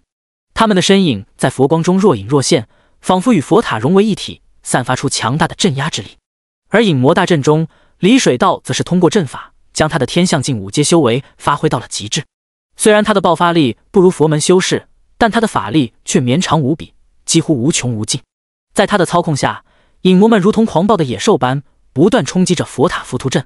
一时间，天空中佛光与魔气交织在一起，形成一幅震撼人心的画面。双方阵法的较量也引发了周围天地元气的剧烈波动，仿佛连整个空间都在颤抖。龙潜于渊，波涛不惊。海洋之中，海蛟王敖烈化作一头不起眼的泥鳅，静静地藏匿于菩提岛的海岸边。他的身躯虽小，但眼中闪烁着狡黠与智慧的光芒，仿佛能看穿世间的一切虚妄。数日前，菩提岛的岛主率领着一百零八名弟子，浩浩荡荡地离开了这片海域。他们的离去，自然引起了敖烈的兴趣。只不过敖烈极为谨慎，没有贸然动手。何况他要对付的是菩提岛主本人，而不是他占据的岛屿。耐心比什么都重要。多少急躁的要求中了人族的陷阱，悔之晚矣。在他身旁跟着一个砗磲女妖。这女妖身形曼妙，容颜绝美，但眼中却透着一股妖媚之气。此女妖乃是敖烈的贤内助，不仅有四阶法力，而且精通迷幻道法，战力不俗。天边，一群修士各自背着石碑返回。他们的身影在夕阳的余晖中显得格外醒目，仿佛归巢的鸟儿一般。敖烈与砗磲女妖静静地躲在海里，目光紧盯着那群修士。他们的水遁术极为厉害，即使近在咫尺，菩提岛主也未能发现他们的踪迹。突然间，菩提岛主与随行的一名修士起了冲突。那修士一身魔气滔天，与菩提岛主的佛光形成了鲜明的对比。敖烈眼中闪过一丝精芒，他看出那魔修实力不凡，但菩提岛主更胜一筹。只见菩提岛主一掐法诀，大量背着石碑的僧人组成了一座金光闪闪的佛塔。这座巨大的佛塔将那名魔修镇压得动弹不得。那魔修虽然被镇压在佛塔之下，但却溢散出滔天魔气。那魔气不断腐蚀着佛塔浮屠阵。这正是阴影魔族的特有神通——阴影腐蚀。这门神通能够快速腐蚀阵法，甚至夺取其控制权。若是飞影没有陨落，这一招的威力至少提高五倍。李水道纯粹是靠阴影魔阵才能施展出这门神通。想要仅仅依靠阴影腐蚀，根本就不可能夺取佛塔浮屠阵的控制权，最多只能降低其威力。隐藏在海水之中观战的砗磲女妖眼中闪过一丝异色，她低声对敖烈说道：“龙王，你不打算动手吗？若你此时出手，说不定能够和这个魔族一起干掉菩提岛主，解除这一大隐患。”敖烈淡淡的瞥了他一眼，没有回答。他心中自有计较，知道此刻出手并非最佳时机。砗磲女妖见他不为所动。心中不禁有些焦急，他继续劝道：“那魔族气息强大，应该是化神级别的修为，敌人的敌人就是盟友，我们何不趁此机会联手一击？”敖烈微微摇头，沉声道：“你有所不知，当初我冰仪也有化神期的修为，可被佛塔浮屠阵镇压之后，最终还是陨落了。这佛塔浮屠阵非同小可，拥有三大变化：梵天镇魔、法海无量、寂灭尽世，每一重变化都蕴含着无穷的威力。”恐怖至极！这个魔族虽然修为不弱，但在我看来，他根本没有我冰仪的实力。他若想依靠腐蚀神通破解佛塔浮屠阵，只怕是痴心妄想。砗磲女妖心中虽然认不认可，但她终究是不敢多言。敖烈的性格向来谨慎，不会轻易出手，而他不过是他手下的一名小妖，又怎能违逆他的意愿？两人目光如炬，紧紧盯着海面上的战斗。那魔修在佛塔浮屠阵的金光之下，如同困兽犹斗，奋力挣扎。但金光却愈发璀璨，仿佛要将他彻底吞噬。而凡圣法王则凌空而立，脸上带着一抹淡然的微笑，仿佛一切尽在掌控之中。良久之后，砗磲女妖终于忍不住开口问道：“菩提岛主已经施展佛塔浮屠阵这么久了，为何还不见那三大杀招的踪影？”敖烈微微侧目，眼中闪过一丝深意，缓缓道：“你有所不知，这三大杀招乃是佛塔浮屠阵的精髓所在，但并非随意便能施展。”须得在对手出招之际，方能借势而发，达到事半功倍的效果。若是对手不出强力杀招，菩提岛主自然也不能轻易暴露底牌。毕竟绝招一出，必定惊天动地，甚至阵法根基都会动摇，平白给敌人造成逃脱的机会。砗磲女妖闻言，心中虽有所悟，但仍是有些不甘。难道就这样一直拖下去吗？敖烈摇了摇头，眼中闪过一丝金光，不会的。你看那魔修，虽然被金光所困，但魔气却愈发浓烈，丝毫不见减弱。而菩提岛主的金光虽然看似璀璨，但实则已经开始有不支的迹象。我猜菩提岛主应该也察觉到了这一点，应该很快就会出手了。话音刚落，海面上突然传来一阵轰鸣之声，只见佛塔之上的金光突然暴涨，仿佛要将整个海面都照亮一般。砗磲女妖见状，不禁惊呼出声：“那菩提岛主终于要出手了！”敖烈的眼中闪过一丝惊芒，好果断！菩提岛主要用那最强的一招了，这一招必定能够一举将那魔修镇压。一个化神期的魔修就会这样陨落吗？砗磲女妖一脸的不可思议，敖烈只能轻叹一声：“冰仪都顶不过这一招，他更不可能。”海面之上，半空之中，繁盛法王的眼神中闪烁着锐利的光芒。他深吸一口气，沉声喝道：“变阵，寂灭尽世！”此言一出，阵法中的石慧珍、石慧定等僧人皆是一惊。他们没想到岛主居然会直接施展出这最强的一招。这一招寂灭尽世，乃是佛塔浮屠阵三大变化最强的一招。威力无穷，足以镇杀一切强敌。当初便是这一招，让那头凶恶的冰狮饮鹤而终。如今面对这魔头，繁盛法王居然再次施展出了这一招，显然是认为这魔头非同小可。所有僧人都高声宣颂佛号，他们背后的石碑佛像仿佛也活了过来，释放出冲天佛光，照亮了整个海洋。这一刻，整个海面都仿佛被一股庄严而神圣的气息所笼罩。随着阵法的变化。一股强大的威压从佛塔中散发出来，仿佛要将一切生灵都镇压得粉身碎骨。而李水道身上的影魔，在这股威压之下，更是如同被烈火焚烧一般，迅速消散无踪。就在李水道即将被镇杀之际，繁盛法王突然面色一变，喷出一口鲜血。他露出难以置信的神色，自己的法力竟然突然无法调动，强行调动之下，竟然让自己受到了重创。这是怎么回事啊？繁盛法王这才想起自己之前中过毒。只不过那毒太微弱，他根本没有放在心上。没想到那毒竟然能够在不知不觉中侵蚀自己的法力。寂灭尽世乃是灭杀一切的大招，大招一出必有破绽。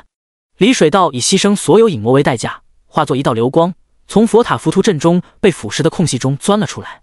他身形一闪，便冲到了繁盛法王的面前，手中的银色巨锤高高举起，狠狠地向繁盛法王的脑袋上砸去。繁盛法王来不及反应。只能眼睁睁地看着那巨锤落下，只听一声巨响，繁盛法王的脑袋当场被敲得粉碎，鲜血四溅，一代强者就这样陨落在了李水道的手中。整个海面都仿佛在这一刻陷入了死寂之中，所有的僧人都呆呆地看着这一幕，心中充满了无尽的震撼和恐惧。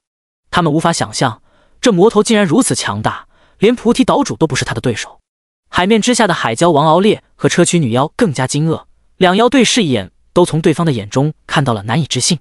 敌人强大并不可怕，可怕的是敌人强大到自己看不懂。砰！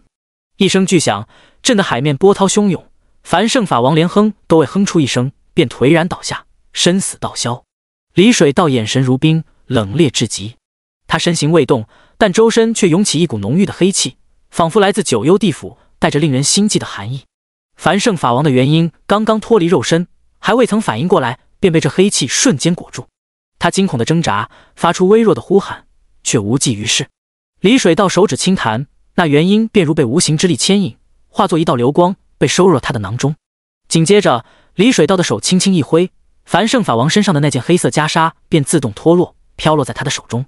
那袈裟上绣着复杂的佛纹，散发着淡淡的金光，显然是一件不凡的法宝。他又屈指一弹，一串佛珠自繁圣法王的脖颈上滑落。落入他的掌心，那佛珠颗颗圆润，每一颗都散发着柔和的光芒，仿佛蕴含着某种神秘的力量。随后，李水道目光落在繁盛法王手中的幽光菩提上，那菩提子散发着幽幽的光芒，似乎蕴含着无尽的智慧与力量。此物乃是得志阴影之主的顶尖宝物，价值无法估量。他轻轻一笑，伸手便将那菩提子取了过来。最后，他的目光落在了繁盛法王藏在腰间的玉壶上，那玉壶晶莹剔透。散发着淡淡的清香，显然也是一件难得的宝贝。这件宝物，李水道曾经见过，正是静云子的乾坤灵玉。这乾坤灵玉本来就是一个空间至宝，里面肯定还有繁盛法王葬起来的大部分家当。做完这一切后，李水道甚至连繁盛法王的尸体都未放过。只见他手掌一翻，一股黑气涌出，将繁盛法王的尸体包裹其中，然后化作一道黑光，消失在他的袖中。整个过程一气呵成，李水道的手法之快，令人啧舌。转眼间，凡圣法王身上的一切财物便被他收走，不留一丝痕迹。一百零八名僧人原本依仗着佛塔浮屠阵的威势悬浮于半空之中，然而此刻随着主阵之人凡圣法王的身死，那阵法境瞬间崩解，他们如同失去了主心骨的群鸟，一时间愣在当场，脸上写满了震惊与愤怒。石慧真怒目圆睁，声音中充满了无尽的恨意：“魔修，你竟敢杀我岛主，今日便是你的死期！”石慧定亦是满脸狰狞，咬牙切齿道：“此仇不共戴天，我等必将你追杀至天涯海角，让你永世不得超生。”他们纷纷祭出法宝，化作一道道流光，朝着李水道追去。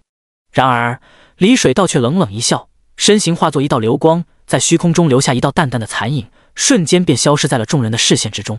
就在这时，海面之下突然炸起一道巨大的浪花，伴随着一声震天的龙吟，海蛟王敖烈破浪而出。他那庞大的身躯散发着恐怖的气势，仿佛一座移动的山岳，令人望而生畏。一百零八名僧人见状，心中都是一紧。他们深知海蛟王的厉害，若是单打独斗，他们之中无一人是其对手。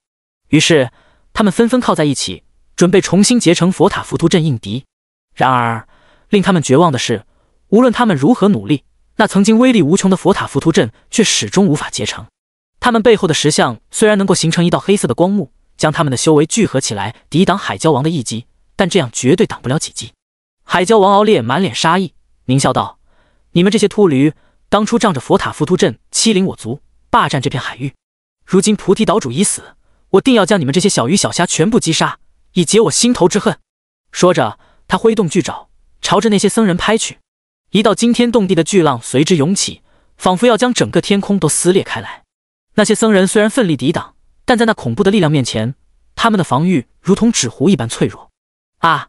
一声声惨叫响起，不断有僧人被巨浪击中，身形狼狈的摔落海中。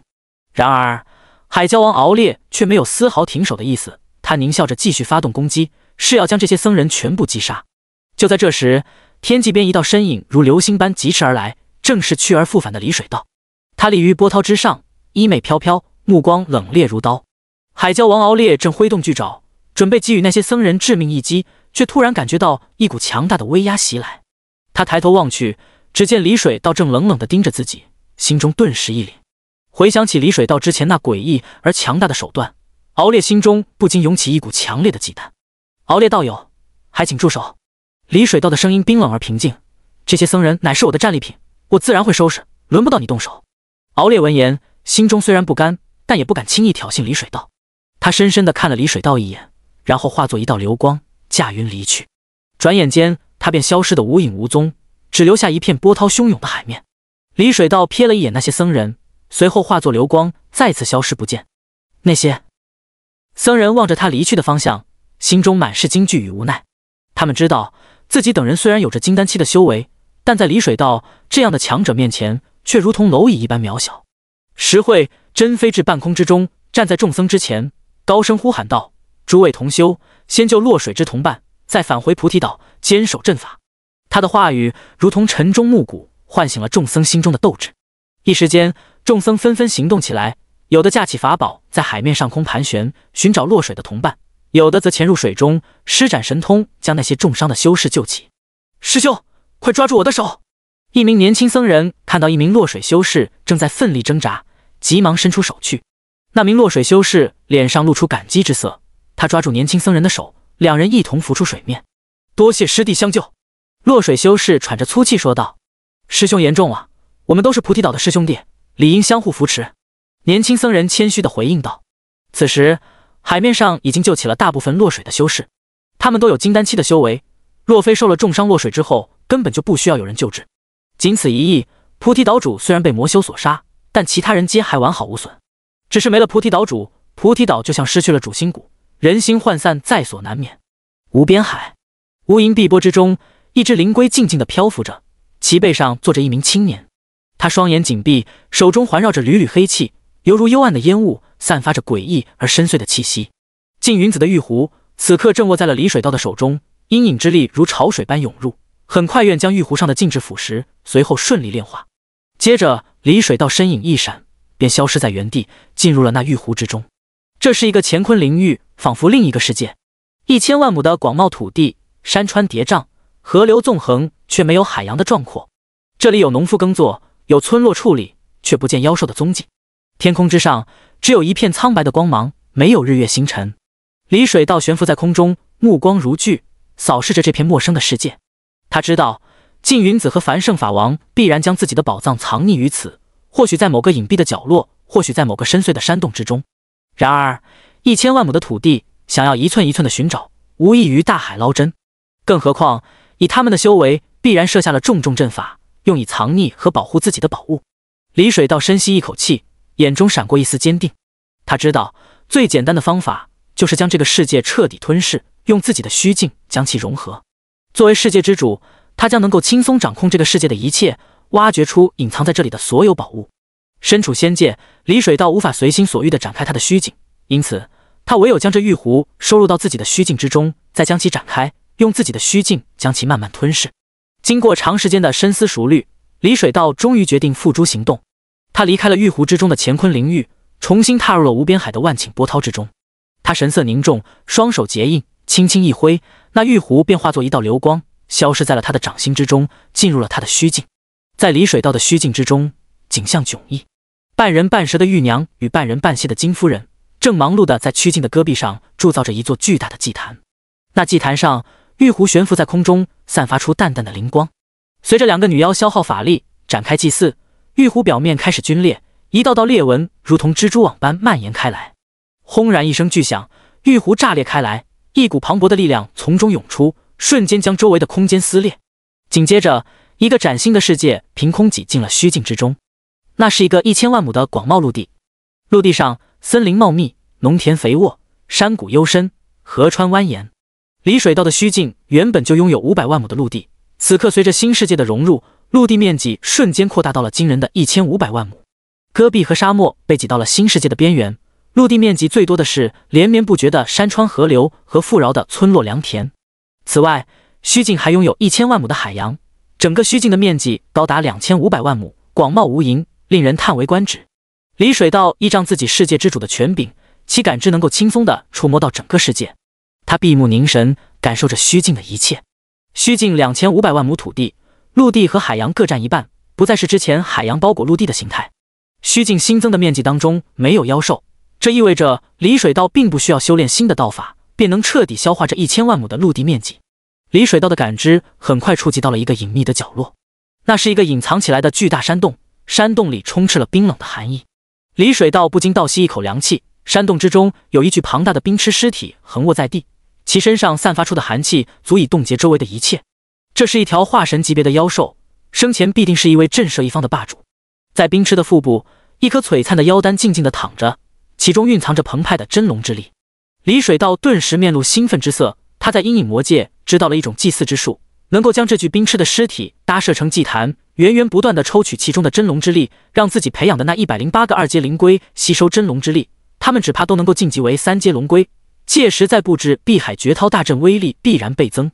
如今李水道手中缺乏应敌手段，这一具冰螭的完整尸体可谓瞌睡来了送枕头。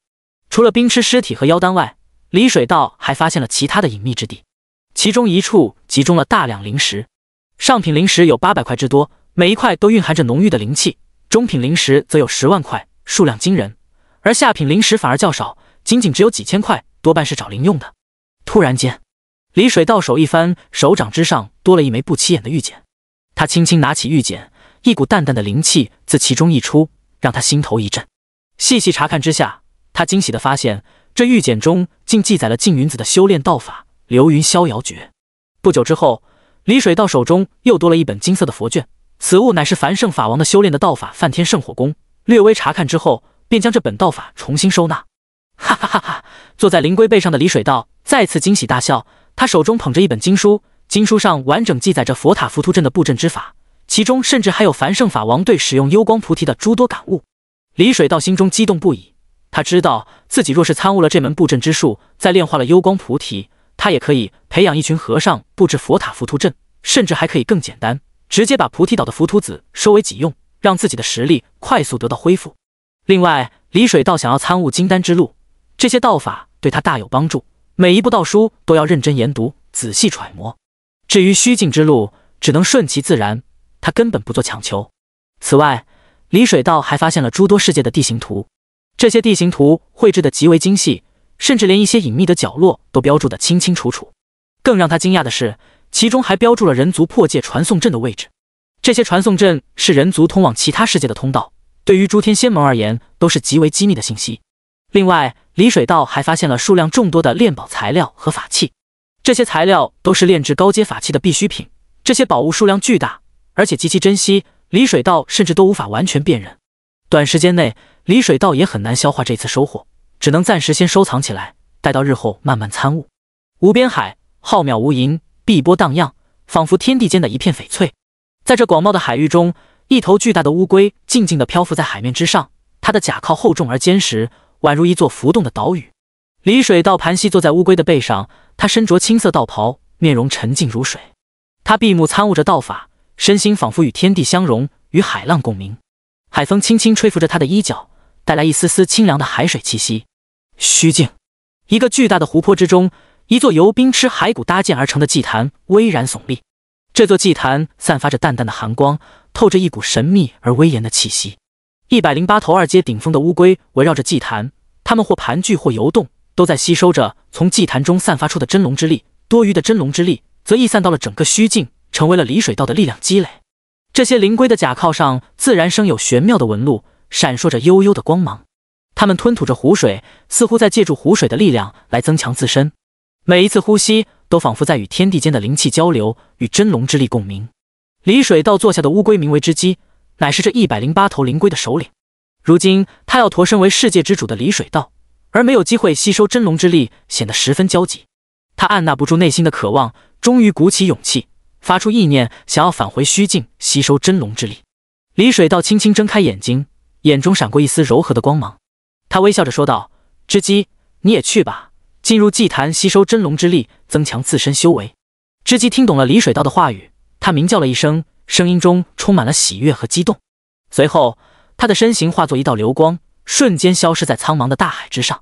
随着织姬的离去，李水道便失去了自己的座驾，只得依靠自身深厚的法力，如鹤立云端，悬浮于空中。虽然他法力无边，能够持久悬浮，但总觉得少了些威严与风采。李水道利用自己虚境之主的权柄。在自己的虚境当中找了一头合适的二阶灵龟，将其召唤而出。这灵龟身披青翠的甲壳，仿佛一块浑然天成的翡翠，龟首微微扬起，双目闪烁着灵动的光芒。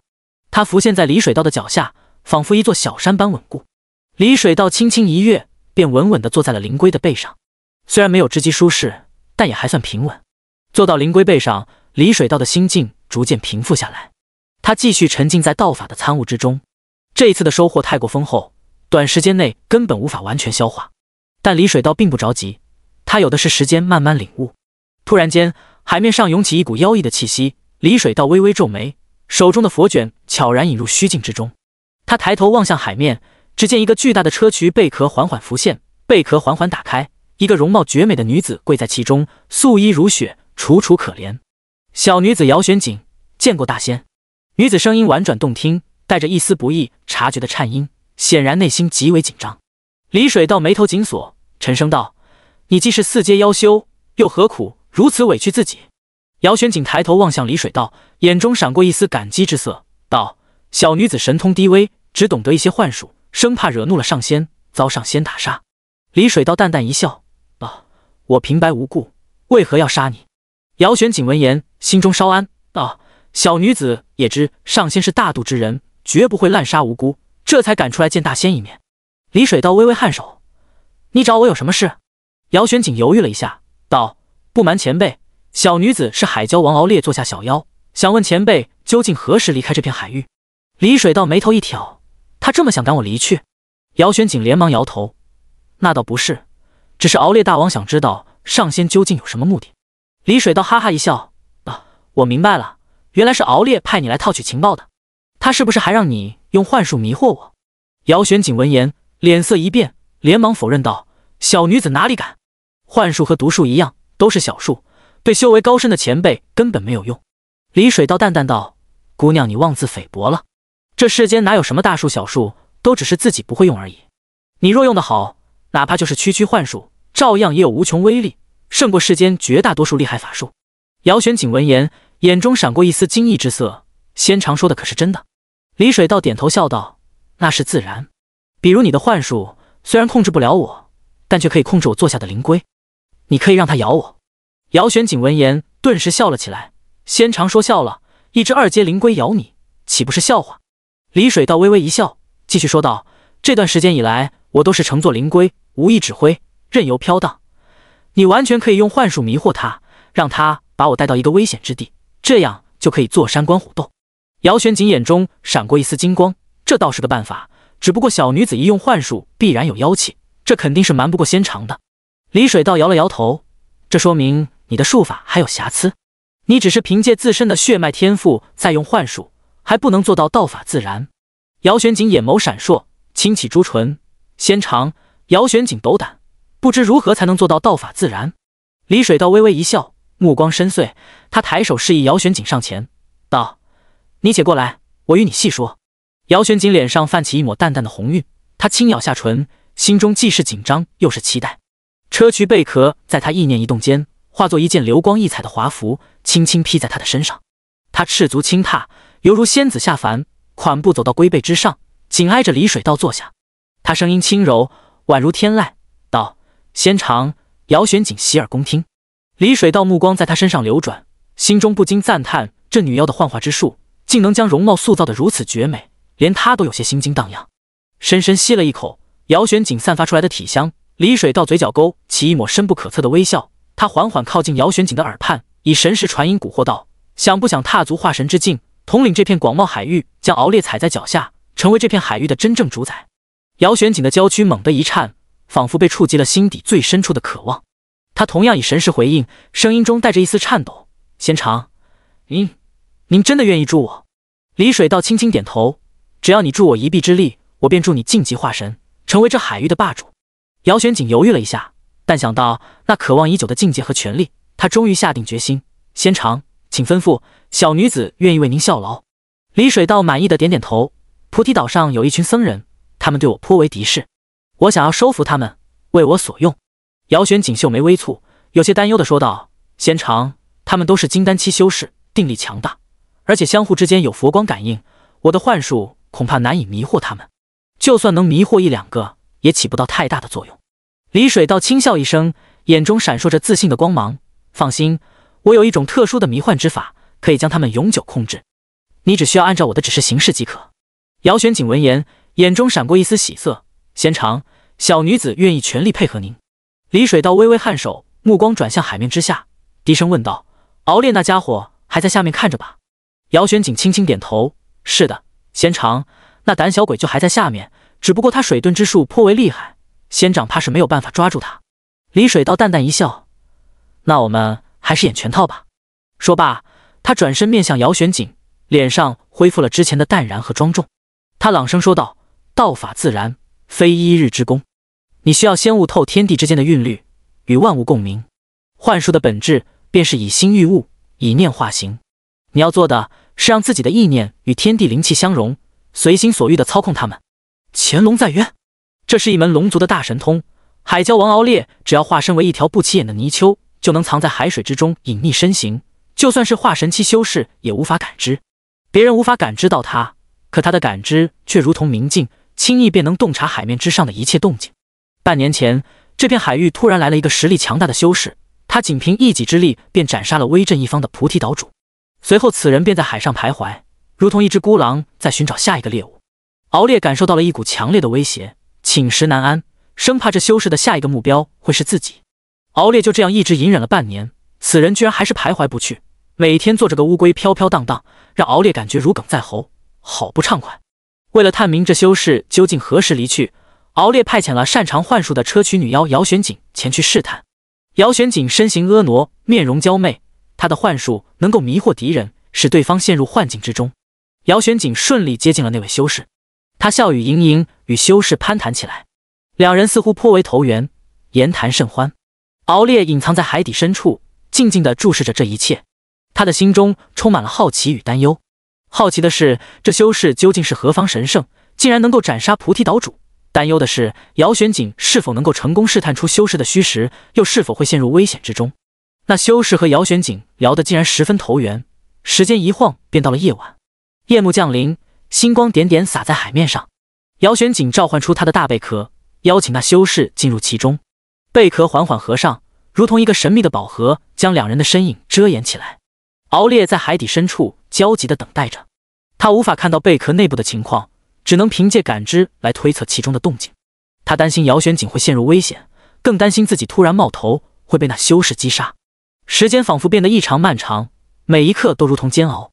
终于，当翌日清晨的第一缕阳光洒在海面上时，贝壳缓缓打开，一男一女从中走出。敖烈仔细观察着那位修士，发现他面色如常，似乎并未受到任何影响。而姚玄景则是满面红晕，双目放光，似乎经历了什么愉悦之事。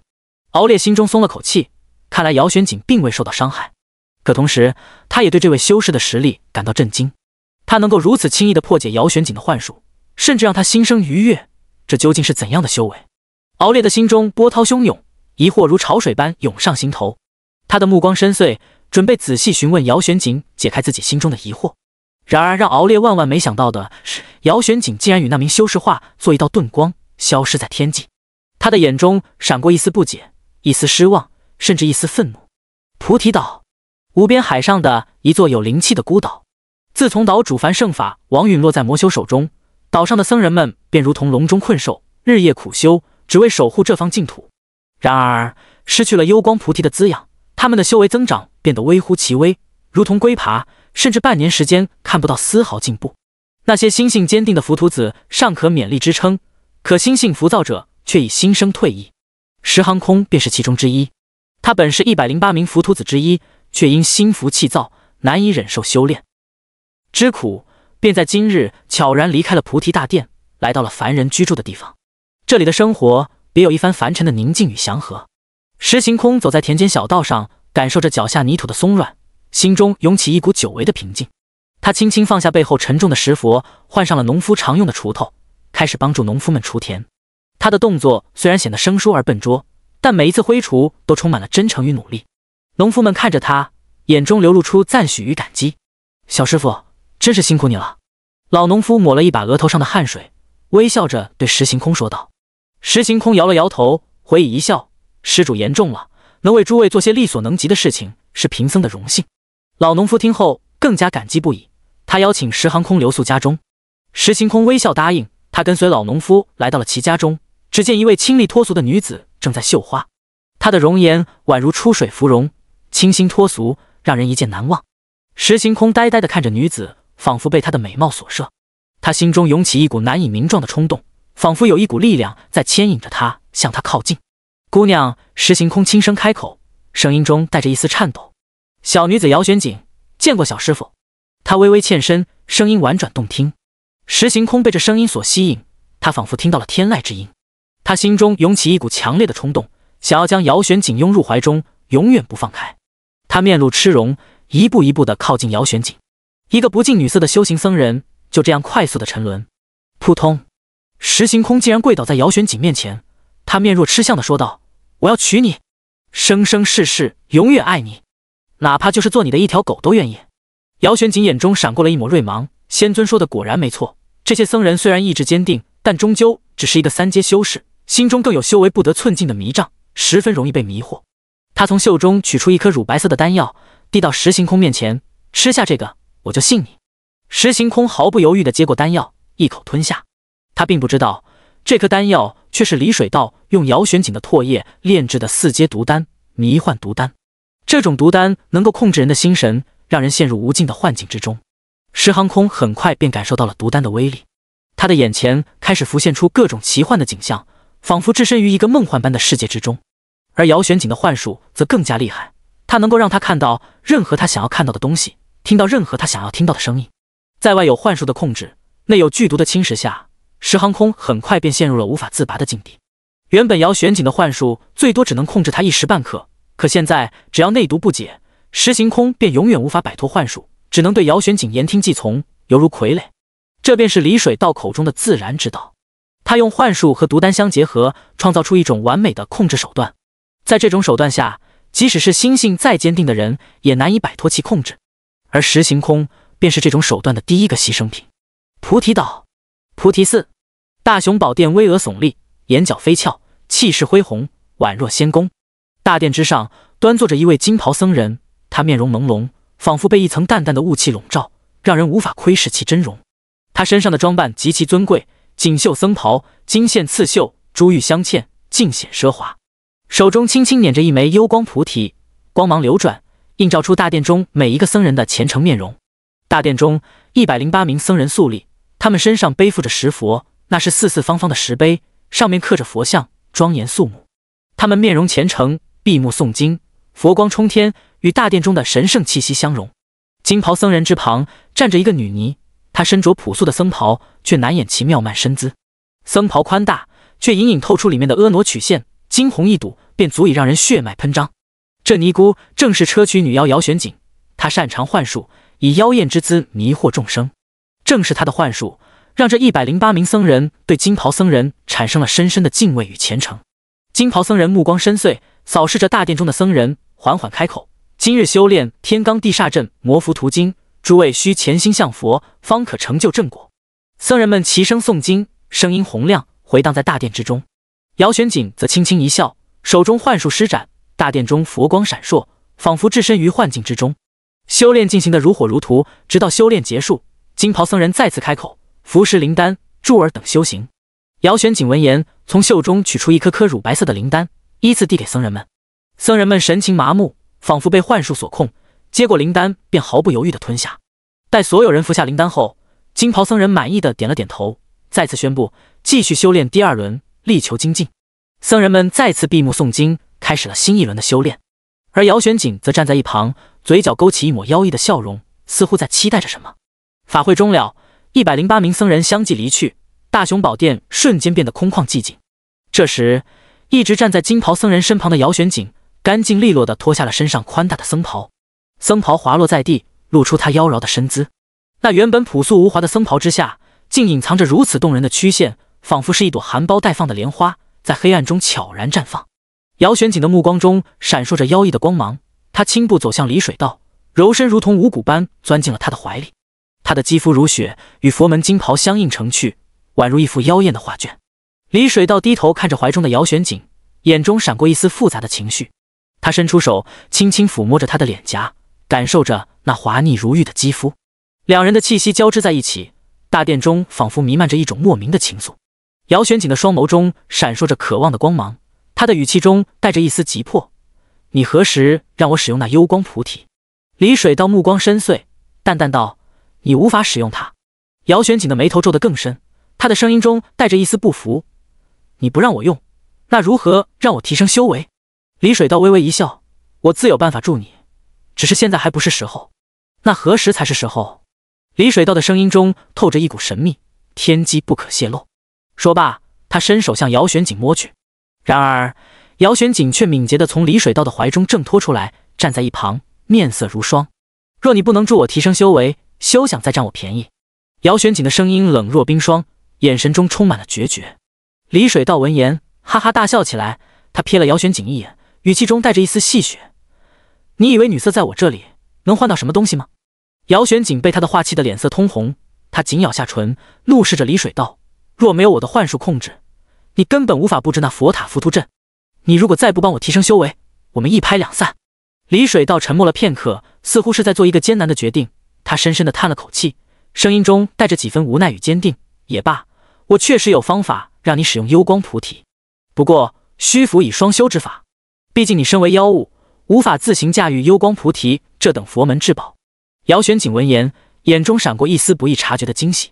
他微微抿了抿唇，心中暗自思忖：双修就双修，又有何难？他抬头望向李水道，眼中闪过一丝调皮的光芒：“你该不会是想让我们当着那帮和尚的面做吧？这也太羞人了。不过为了提升修为，那帮和尚就让他们看着吧。”反正又不会少一块肉。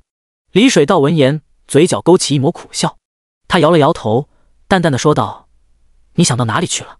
我说的双修可不是肉体上的，而是法力上的，甚至是精神上的。这是真正的双修，又叫同参。”姚玄景闻言，脸上露出了一丝疑惑，他皱起眉头，不解的问道：“法力上的双修，那是如何修行的？”李水道微微一笑，眼中闪过一丝神秘的光芒。这其中的奥妙，非三言两语能道尽。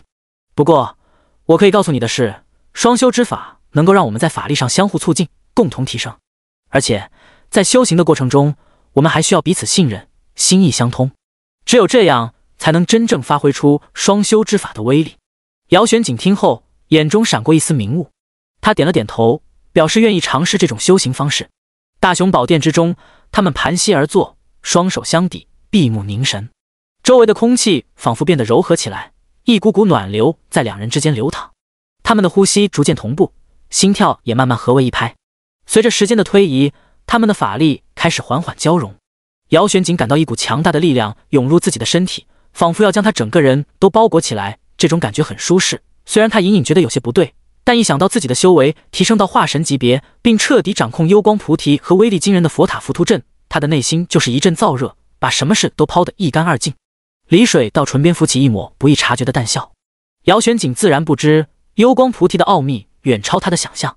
原本这菩提子的确是佛门至高法宝，然而被阴影之主夺取之后，被其用阴暗之力侵蚀，它已悄然蜕变，成为了一件蕴含佛魔之力的魔宝。幽光菩提根本没有底线，人可以用，魔可以用，妖也可以用。姚玄景虽然是砗磲女妖，但她使用幽光菩提绝不会有半点障碍。李水道之所以编织出那番谎言。不过是想让这位妖艳的女妖自愿成为自己的同参，同参之术乃是李水道所修道法的根本。他要求人妖同修，双方共享法力道法，而且主仆分明。不过前提是作为同参的妖修一定要自愿，妖物修为越高，越不容易甘愿为仆。姚玄景身为四阶妖修，根本不可能自负枷锁成为李水道的同参，只能用骗，利用他自己的贪婪，他会自己骗自己。一旦成为同参，姚玄景的修为、心神都将逐渐被李水道所控制，甚至完全丧失自我。为了这一天，李水道精心布局。他利用姚玄景的幻术，巧妙地控制了那一百零八名浮屠子，在姚玄景的眼前，让他亲眼见证那幽光菩提的神奇之处。这件佛门至宝居然能够强行提升人的修为，而且速度惊人。这一幕让姚玄景内心的贪婪欲望越发放大。李水道并没有立刻满足他的欲望，而是刻意压了压。他故意让姚玄景无法轻易得到，这样一来，姚玄景的贪欲被进一步激发，他更加渴望得到这件宝物。当姚玄景终于忍不住向李水道提出要求时，李水道便顺理成章地提出了自己的条件，让他成为自己的同参。这就是女人。李水道目光悠悠，他像蜘蛛一样一层一层地裹着自己的猎物，直到他彻底窒息，沦为自己的奴仆。无边海，黑岛，这里海浪轻抚着礁石，风声如泣如诉。仿佛诉说着千年前的秘密。就在某个寂静的夜晚，三根漆黑的竹笋如同鬼魅般破土而出，它们无声无息的生长，仿佛受到了某种神秘力量的驱使。短短几日，这三根竹笋便已经长成了水牛般的大小，散发着幽暗而诡异的气息。终于，在一次月黑风高的夜晚，三根竹笋猛地裂开，从中走出了三名女子。她们皮肤白皙如玉，眼眸深邃如夜，身上却弥漫着一种阴暗的能量。他们赤身裸体，第一时间便用周围的树叶编织成简单的衣物，遮挡住那曼妙的身姿。清明、紫烟、莫长三女并肩而立，她们虽此刻修为只显二阶上品，但实则深藏不露，皆是四阶以后的修为。跨界传送，法力损耗极大，即便是阴影之主，也只能将他们的修为强行削弱至二阶顶峰，方能完成这次艰难的传送。他们的任务是在这荒芜的岛屿上播撒信仰之种。重新搭建起阴影之主的祭坛，搭建祭坛并不是什么难事，可在这人迹罕至的孤岛上传播信仰，却是一项极为艰难的任务。三人环顾四周，只见荒芜的土地上杂草丛生，破碎的建筑在风雨中摇摇欲坠，连一丝人烟都不见。清明轻叹一声道：“此处竟无一人，我们该如何是好？”紫烟皱眉道：“人都被杀光了，我们现在实力低微，恐怕难以完成任务。”莫长沉思片刻道。我们先恢复力量，然后再到附近寻找，或许能找到一些土人。三女商议已定，便找了个隐秘之处开始修炼。她们盘膝而坐，闭目凝神，黑色的阴影缓缓从她们身上溢出，缠绕着她们的身躯。随着阴影的缠绕，她们的气息开始变得强大起来，修为也在迅速恢复。随着修炼的进行，三女身上的阴影越来越浓密，她们的气息也越来越强大。周围的空气仿佛都被他们的气息所影响，变得凝重起来。时间缓缓流逝，三女终于修炼完毕。她们睁开眼睛，眼中闪烁着坚定的光芒。清明站起身来，道：“我们走吧，去附近海域寻找土人，把他们接到这里，传播信仰之种。”紫烟和莫长也站起身来，他们三人并肩而行，一起飞入到了茫茫大海。海洋宽广无边，三人又没有方向，闷头乱飞。突然间，天地变色，乌云压顶，原本平静的海面瞬间变得波涛汹涌。海水翻滚如沸，三女心中一惊，急忙提升法力，稳住身形。就在这时，一声震天动地的怒吼响起，只见一头巨大蓝蛟从海中浮出，妖气冲天。它身披鳞甲，闪烁着幽幽蓝光，巨大的身躯仿佛能遮天蔽日，双眼如同两团燃烧的火焰，射出凌厉的光芒，直逼三女。此妖物正是海蛟王敖烈，他张开血盆大口，露出锋利的獠牙，发出一声怒吼。声音震得海水翻腾不已，他挥动巨大的尾巴，掀起一道巨浪，向三女冲来。面对巨浪袭来，三女毫无惧色，他们相互分散，各展神通。紫烟身形一动，消失在原地。下一刻，他已出现在敖烈的背后，手掌中凝聚出一团幽暗的能量，朝着敖烈的背部猛地轰去。然而，敖烈似乎早有察觉，猛然转身，一口炽热的火焰喷薄而出，与紫烟的攻击相撞。爆发出惊人的能量波动，莫长则是化作一道黑影，悄无声息地绕到了敖烈的侧面。他双手结印，一道道阴影能量如同游蛇般缠绕而上，试图束缚住敖烈的行动。然而，敖烈的鳞甲坚硬无比，阴影能量根本无法穿透，反被其强大的妖气震散。清明则是凝聚出无数阴影利刃，如同暴雨般朝着敖烈倾泻而下。然而，敖烈却是仰天长啸，周身蓝光大盛，形成一道光幕。将阴影利刃尽数挡下，一番交手，敖烈见三女攻势凌厉，完全不弱于自己，于是他张开大嘴，一声低吼：“住手！”敖烈的声音在三女耳边响起，他双眼闪烁着幽幽的蓝光，直视着三女：“我叫敖烈，掌管这方海域。你们是谁？为何闯入我的领地？”清明见状，急忙上前一步，拱手施礼道：“敖烈道友，我们并无恶意。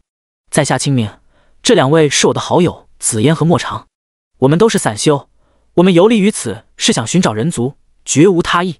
紫嫣也补充道：“我们真的只是路过，并无冒犯之意。”莫长也点头附和道：“我们姐妹三人确实只是寻找人族，仅仅只是为了传播道统。”敖烈听完三女的解释，眼中闪过一丝深邃的思索，他缓缓开口：“在我掌控的海域，确实存在着人族的踪迹，他们居住在一个名为菩提岛的地方。”清明听闻有人族居住的岛屿。眼中闪过一丝喜色，他急切地问道：“敖前辈，不知这菩提岛在何方？我们该如何前往？”家，敖烈目光微凝，望向远方，似乎在回忆着菩提岛的方向。他沉声道：“我带你们去菩提岛吧。只是菩提岛新岛主李水道实力不俗，你们三人联手也未必是其对手。”清明闻言，坦然说道：“敖道友，您放心，我们并无与岛主交手的打算。我们此行只是为了寻找人族。”希望岛主能够赠予我们一些凡人，让我们能够传授道法即可。敖烈听后不知可否的点了点头。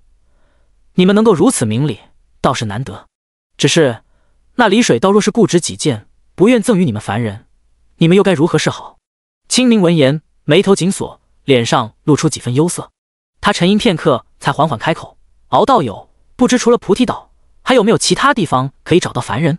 敖烈摇了摇头，叹息道：“没有了。”这海域之中，人族早已凋零，唯有菩提岛还残存着一些凡人。三女顿时陷入了沉默，气氛变得有些凝重。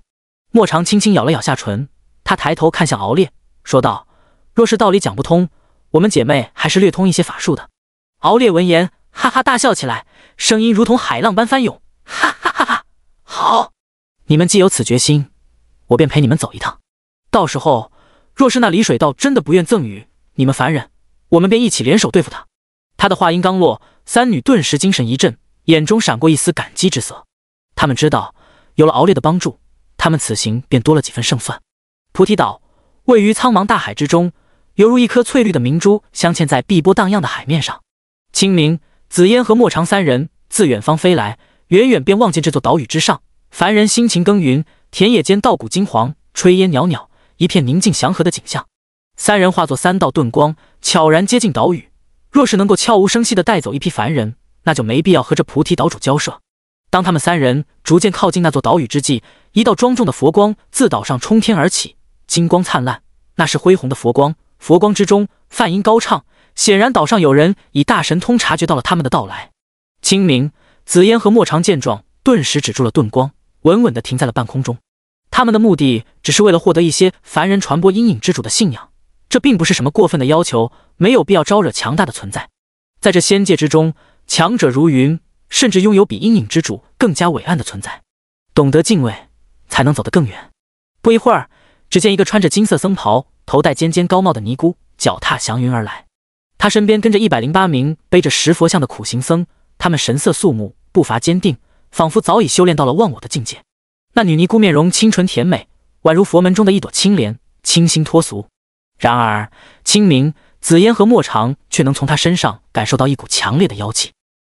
这股妖气甚至隐隐超过了那头海蛟王敖烈。看来这女尼姑并非寻常之辈，或许用不了多久，她便能晋级化神期，成为一头五阶大妖。一个海中女妖隐藏在佛门之中，身居圣女菩萨的高位，真是有意思。一名和尚上前一步，双手合十，朗声问道：“贫僧法号慧明，这位是菩提岛女菩萨姚玄景，不知三位道友是何来历？来菩提岛所谓何事？”清明上前一步，微微一笑，道。我们三姐妹乃是修行之人，想要在贵岛传授道统，不知能否行个方便？姚玄景闻言，嘴角勾起一抹玩味的笑容，扑哧一声笑了出来。三位施主倒是好志气，不过你们看看自己这身打扮，连件好衣裳都没有，还怎么传授道统？清明、紫烟和莫长三人闻言互望一眼，脸上露出些许尴尬之色。他们此刻的穿着确实有些简陋。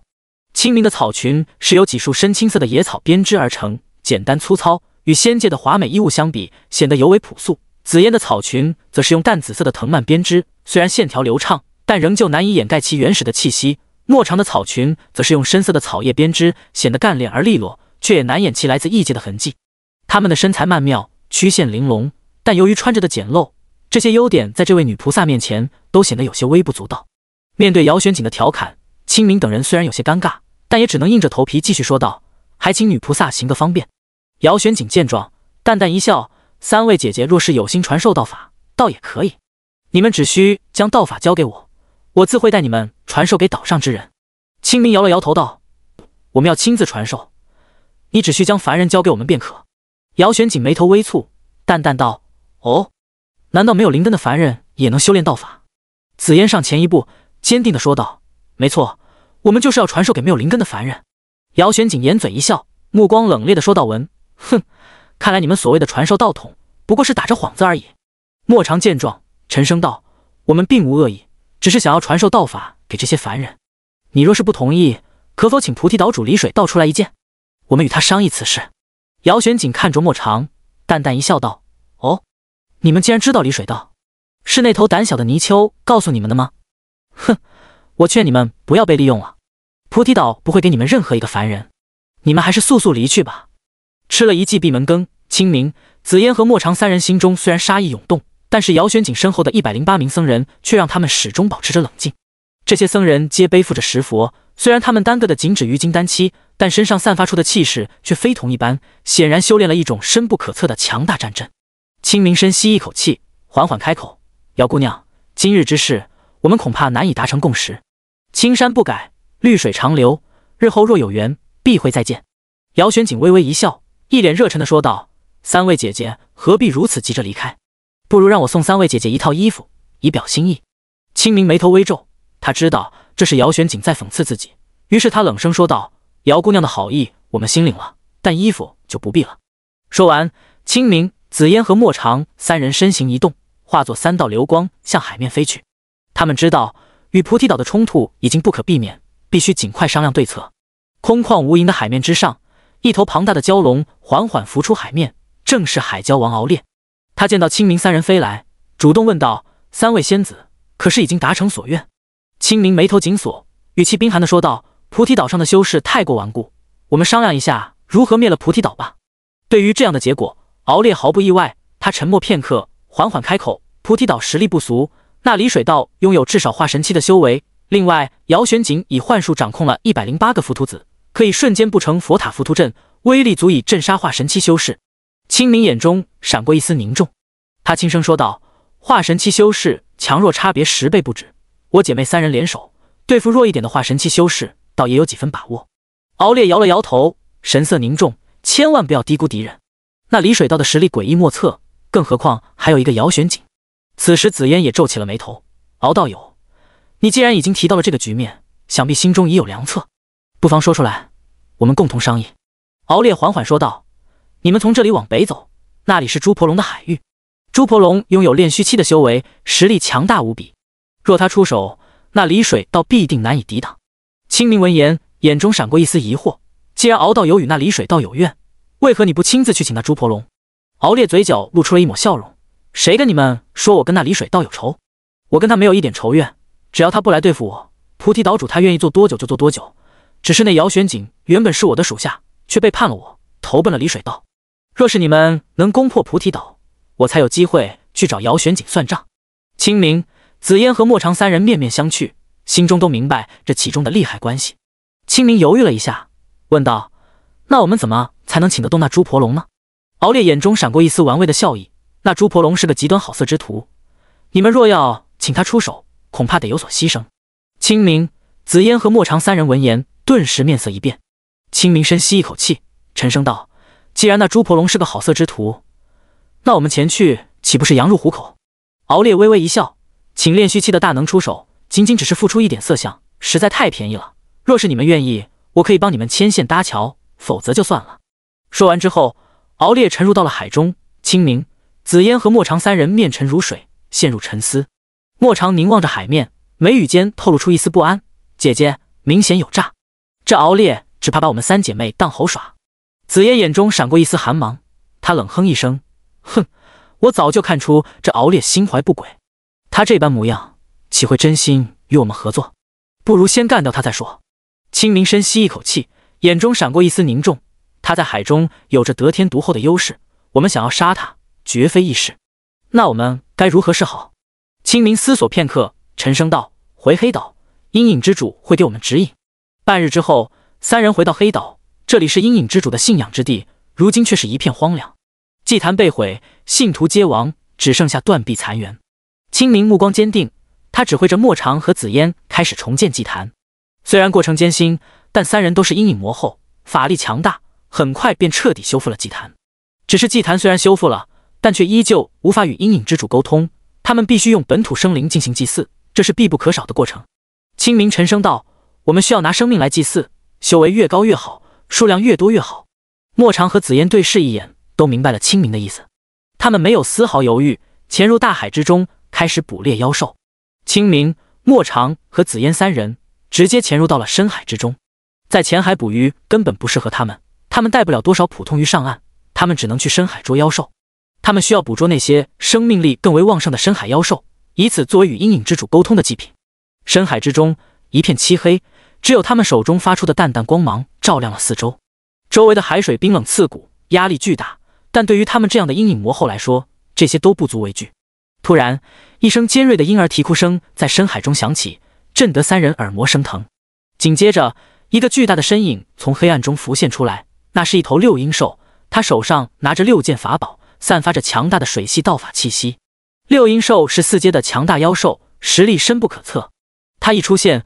便对三人发动了猛烈的攻击，一时间海水翻涌，波涛汹涌，仿佛要将三人吞噬。清明他们丝毫不惧，立刻联手反击。他们各自施展出强大的法术，与六阴兽展开了激烈的战斗。一时间，深海中光芒闪烁，法宝碰撞声、法术轰鸣声此起彼伏。经过一番激战，六阴兽不敌逃离。清明三女顺手在海底捕捉到了三至二阶的砗磲妖兽，祭祀了这三头妖兽，足以沟通阴影之主。黑岛，清明脱掉了身上的草裙，赤裸的身体被阴影所覆盖。他站在修复后的祭坛之上，周围环绕着淡淡的幽光。他的目光深邃，仿佛能够穿透无尽虚空，直达万界深渊。莫长和紫嫣恭敬地站在一旁，等待着清明的指令。他们知道，这是与阴影之主沟通的关键时刻，不能有丝毫差错。清明深吸一口气，开始念诵古老的咒语。随着咒语的响起。祭坛上的三头贝壳妖生命力被彻底抽取，化作血红色的光芒，萦绕着祭坛，一股神秘的力量被唤醒。突然，祭坛上空的虚空开始扭曲，一股强大的气息从中透出。清明他们知道这是阴影之主降临的前兆。阴影之主，我等再次献祭，请求您的垂青。清明恭敬地说道。虚空中的气息越发强烈，仿佛有一个巨大的眼睛在注视着他们。突然，一个低沉而威严的声音在他们耳边响起：“尔等可是遇到了麻烦？”清明不敢有丝毫隐瞒，将此地的情况如实相告。黑岛附近的确有人族，只不过我的实力不足，无法与其交涉。阴影之主沉默片刻，说道：“只要尔等献祭一个四阶妖兽，我便可将尔等提升至五阶阴影魔尊之境。届时尔等三人联手，足以镇压一切。”清明他们闻言大喜。连忙谢恩，他们知道这是阴影之主给他们的巨大机缘，他们必须好好把握。随着阴影之主的离去，祭坛上的光芒渐渐消散。清明静静地站在祭坛边，目光深邃，仿佛在思索着未来的道路。他的沉默让周围的空气都显得有些凝重。紫嫣轻步上前，轻声问道：“姐姐，我们姐妹联手要杀死一头四阶妖兽，并不困难，可若是想要活捉，几乎是不可能的事情。”莫长也皱眉沉思。回想起刚才与六阴兽在深海中交手的情景，那强大的水系道法和法宝的威力仍然让他心有余悸。沉默良久之后，清明缓缓开口：“活捉四阶妖兽的确难如登天，不过若是能够让敖道友自己把自己献祭了，那就不需要动手了。”紫嫣和莫长听完后，眼中都闪过一丝光芒。姐姐的意思是骗？紫嫣轻掩小嘴说道。清明点点头。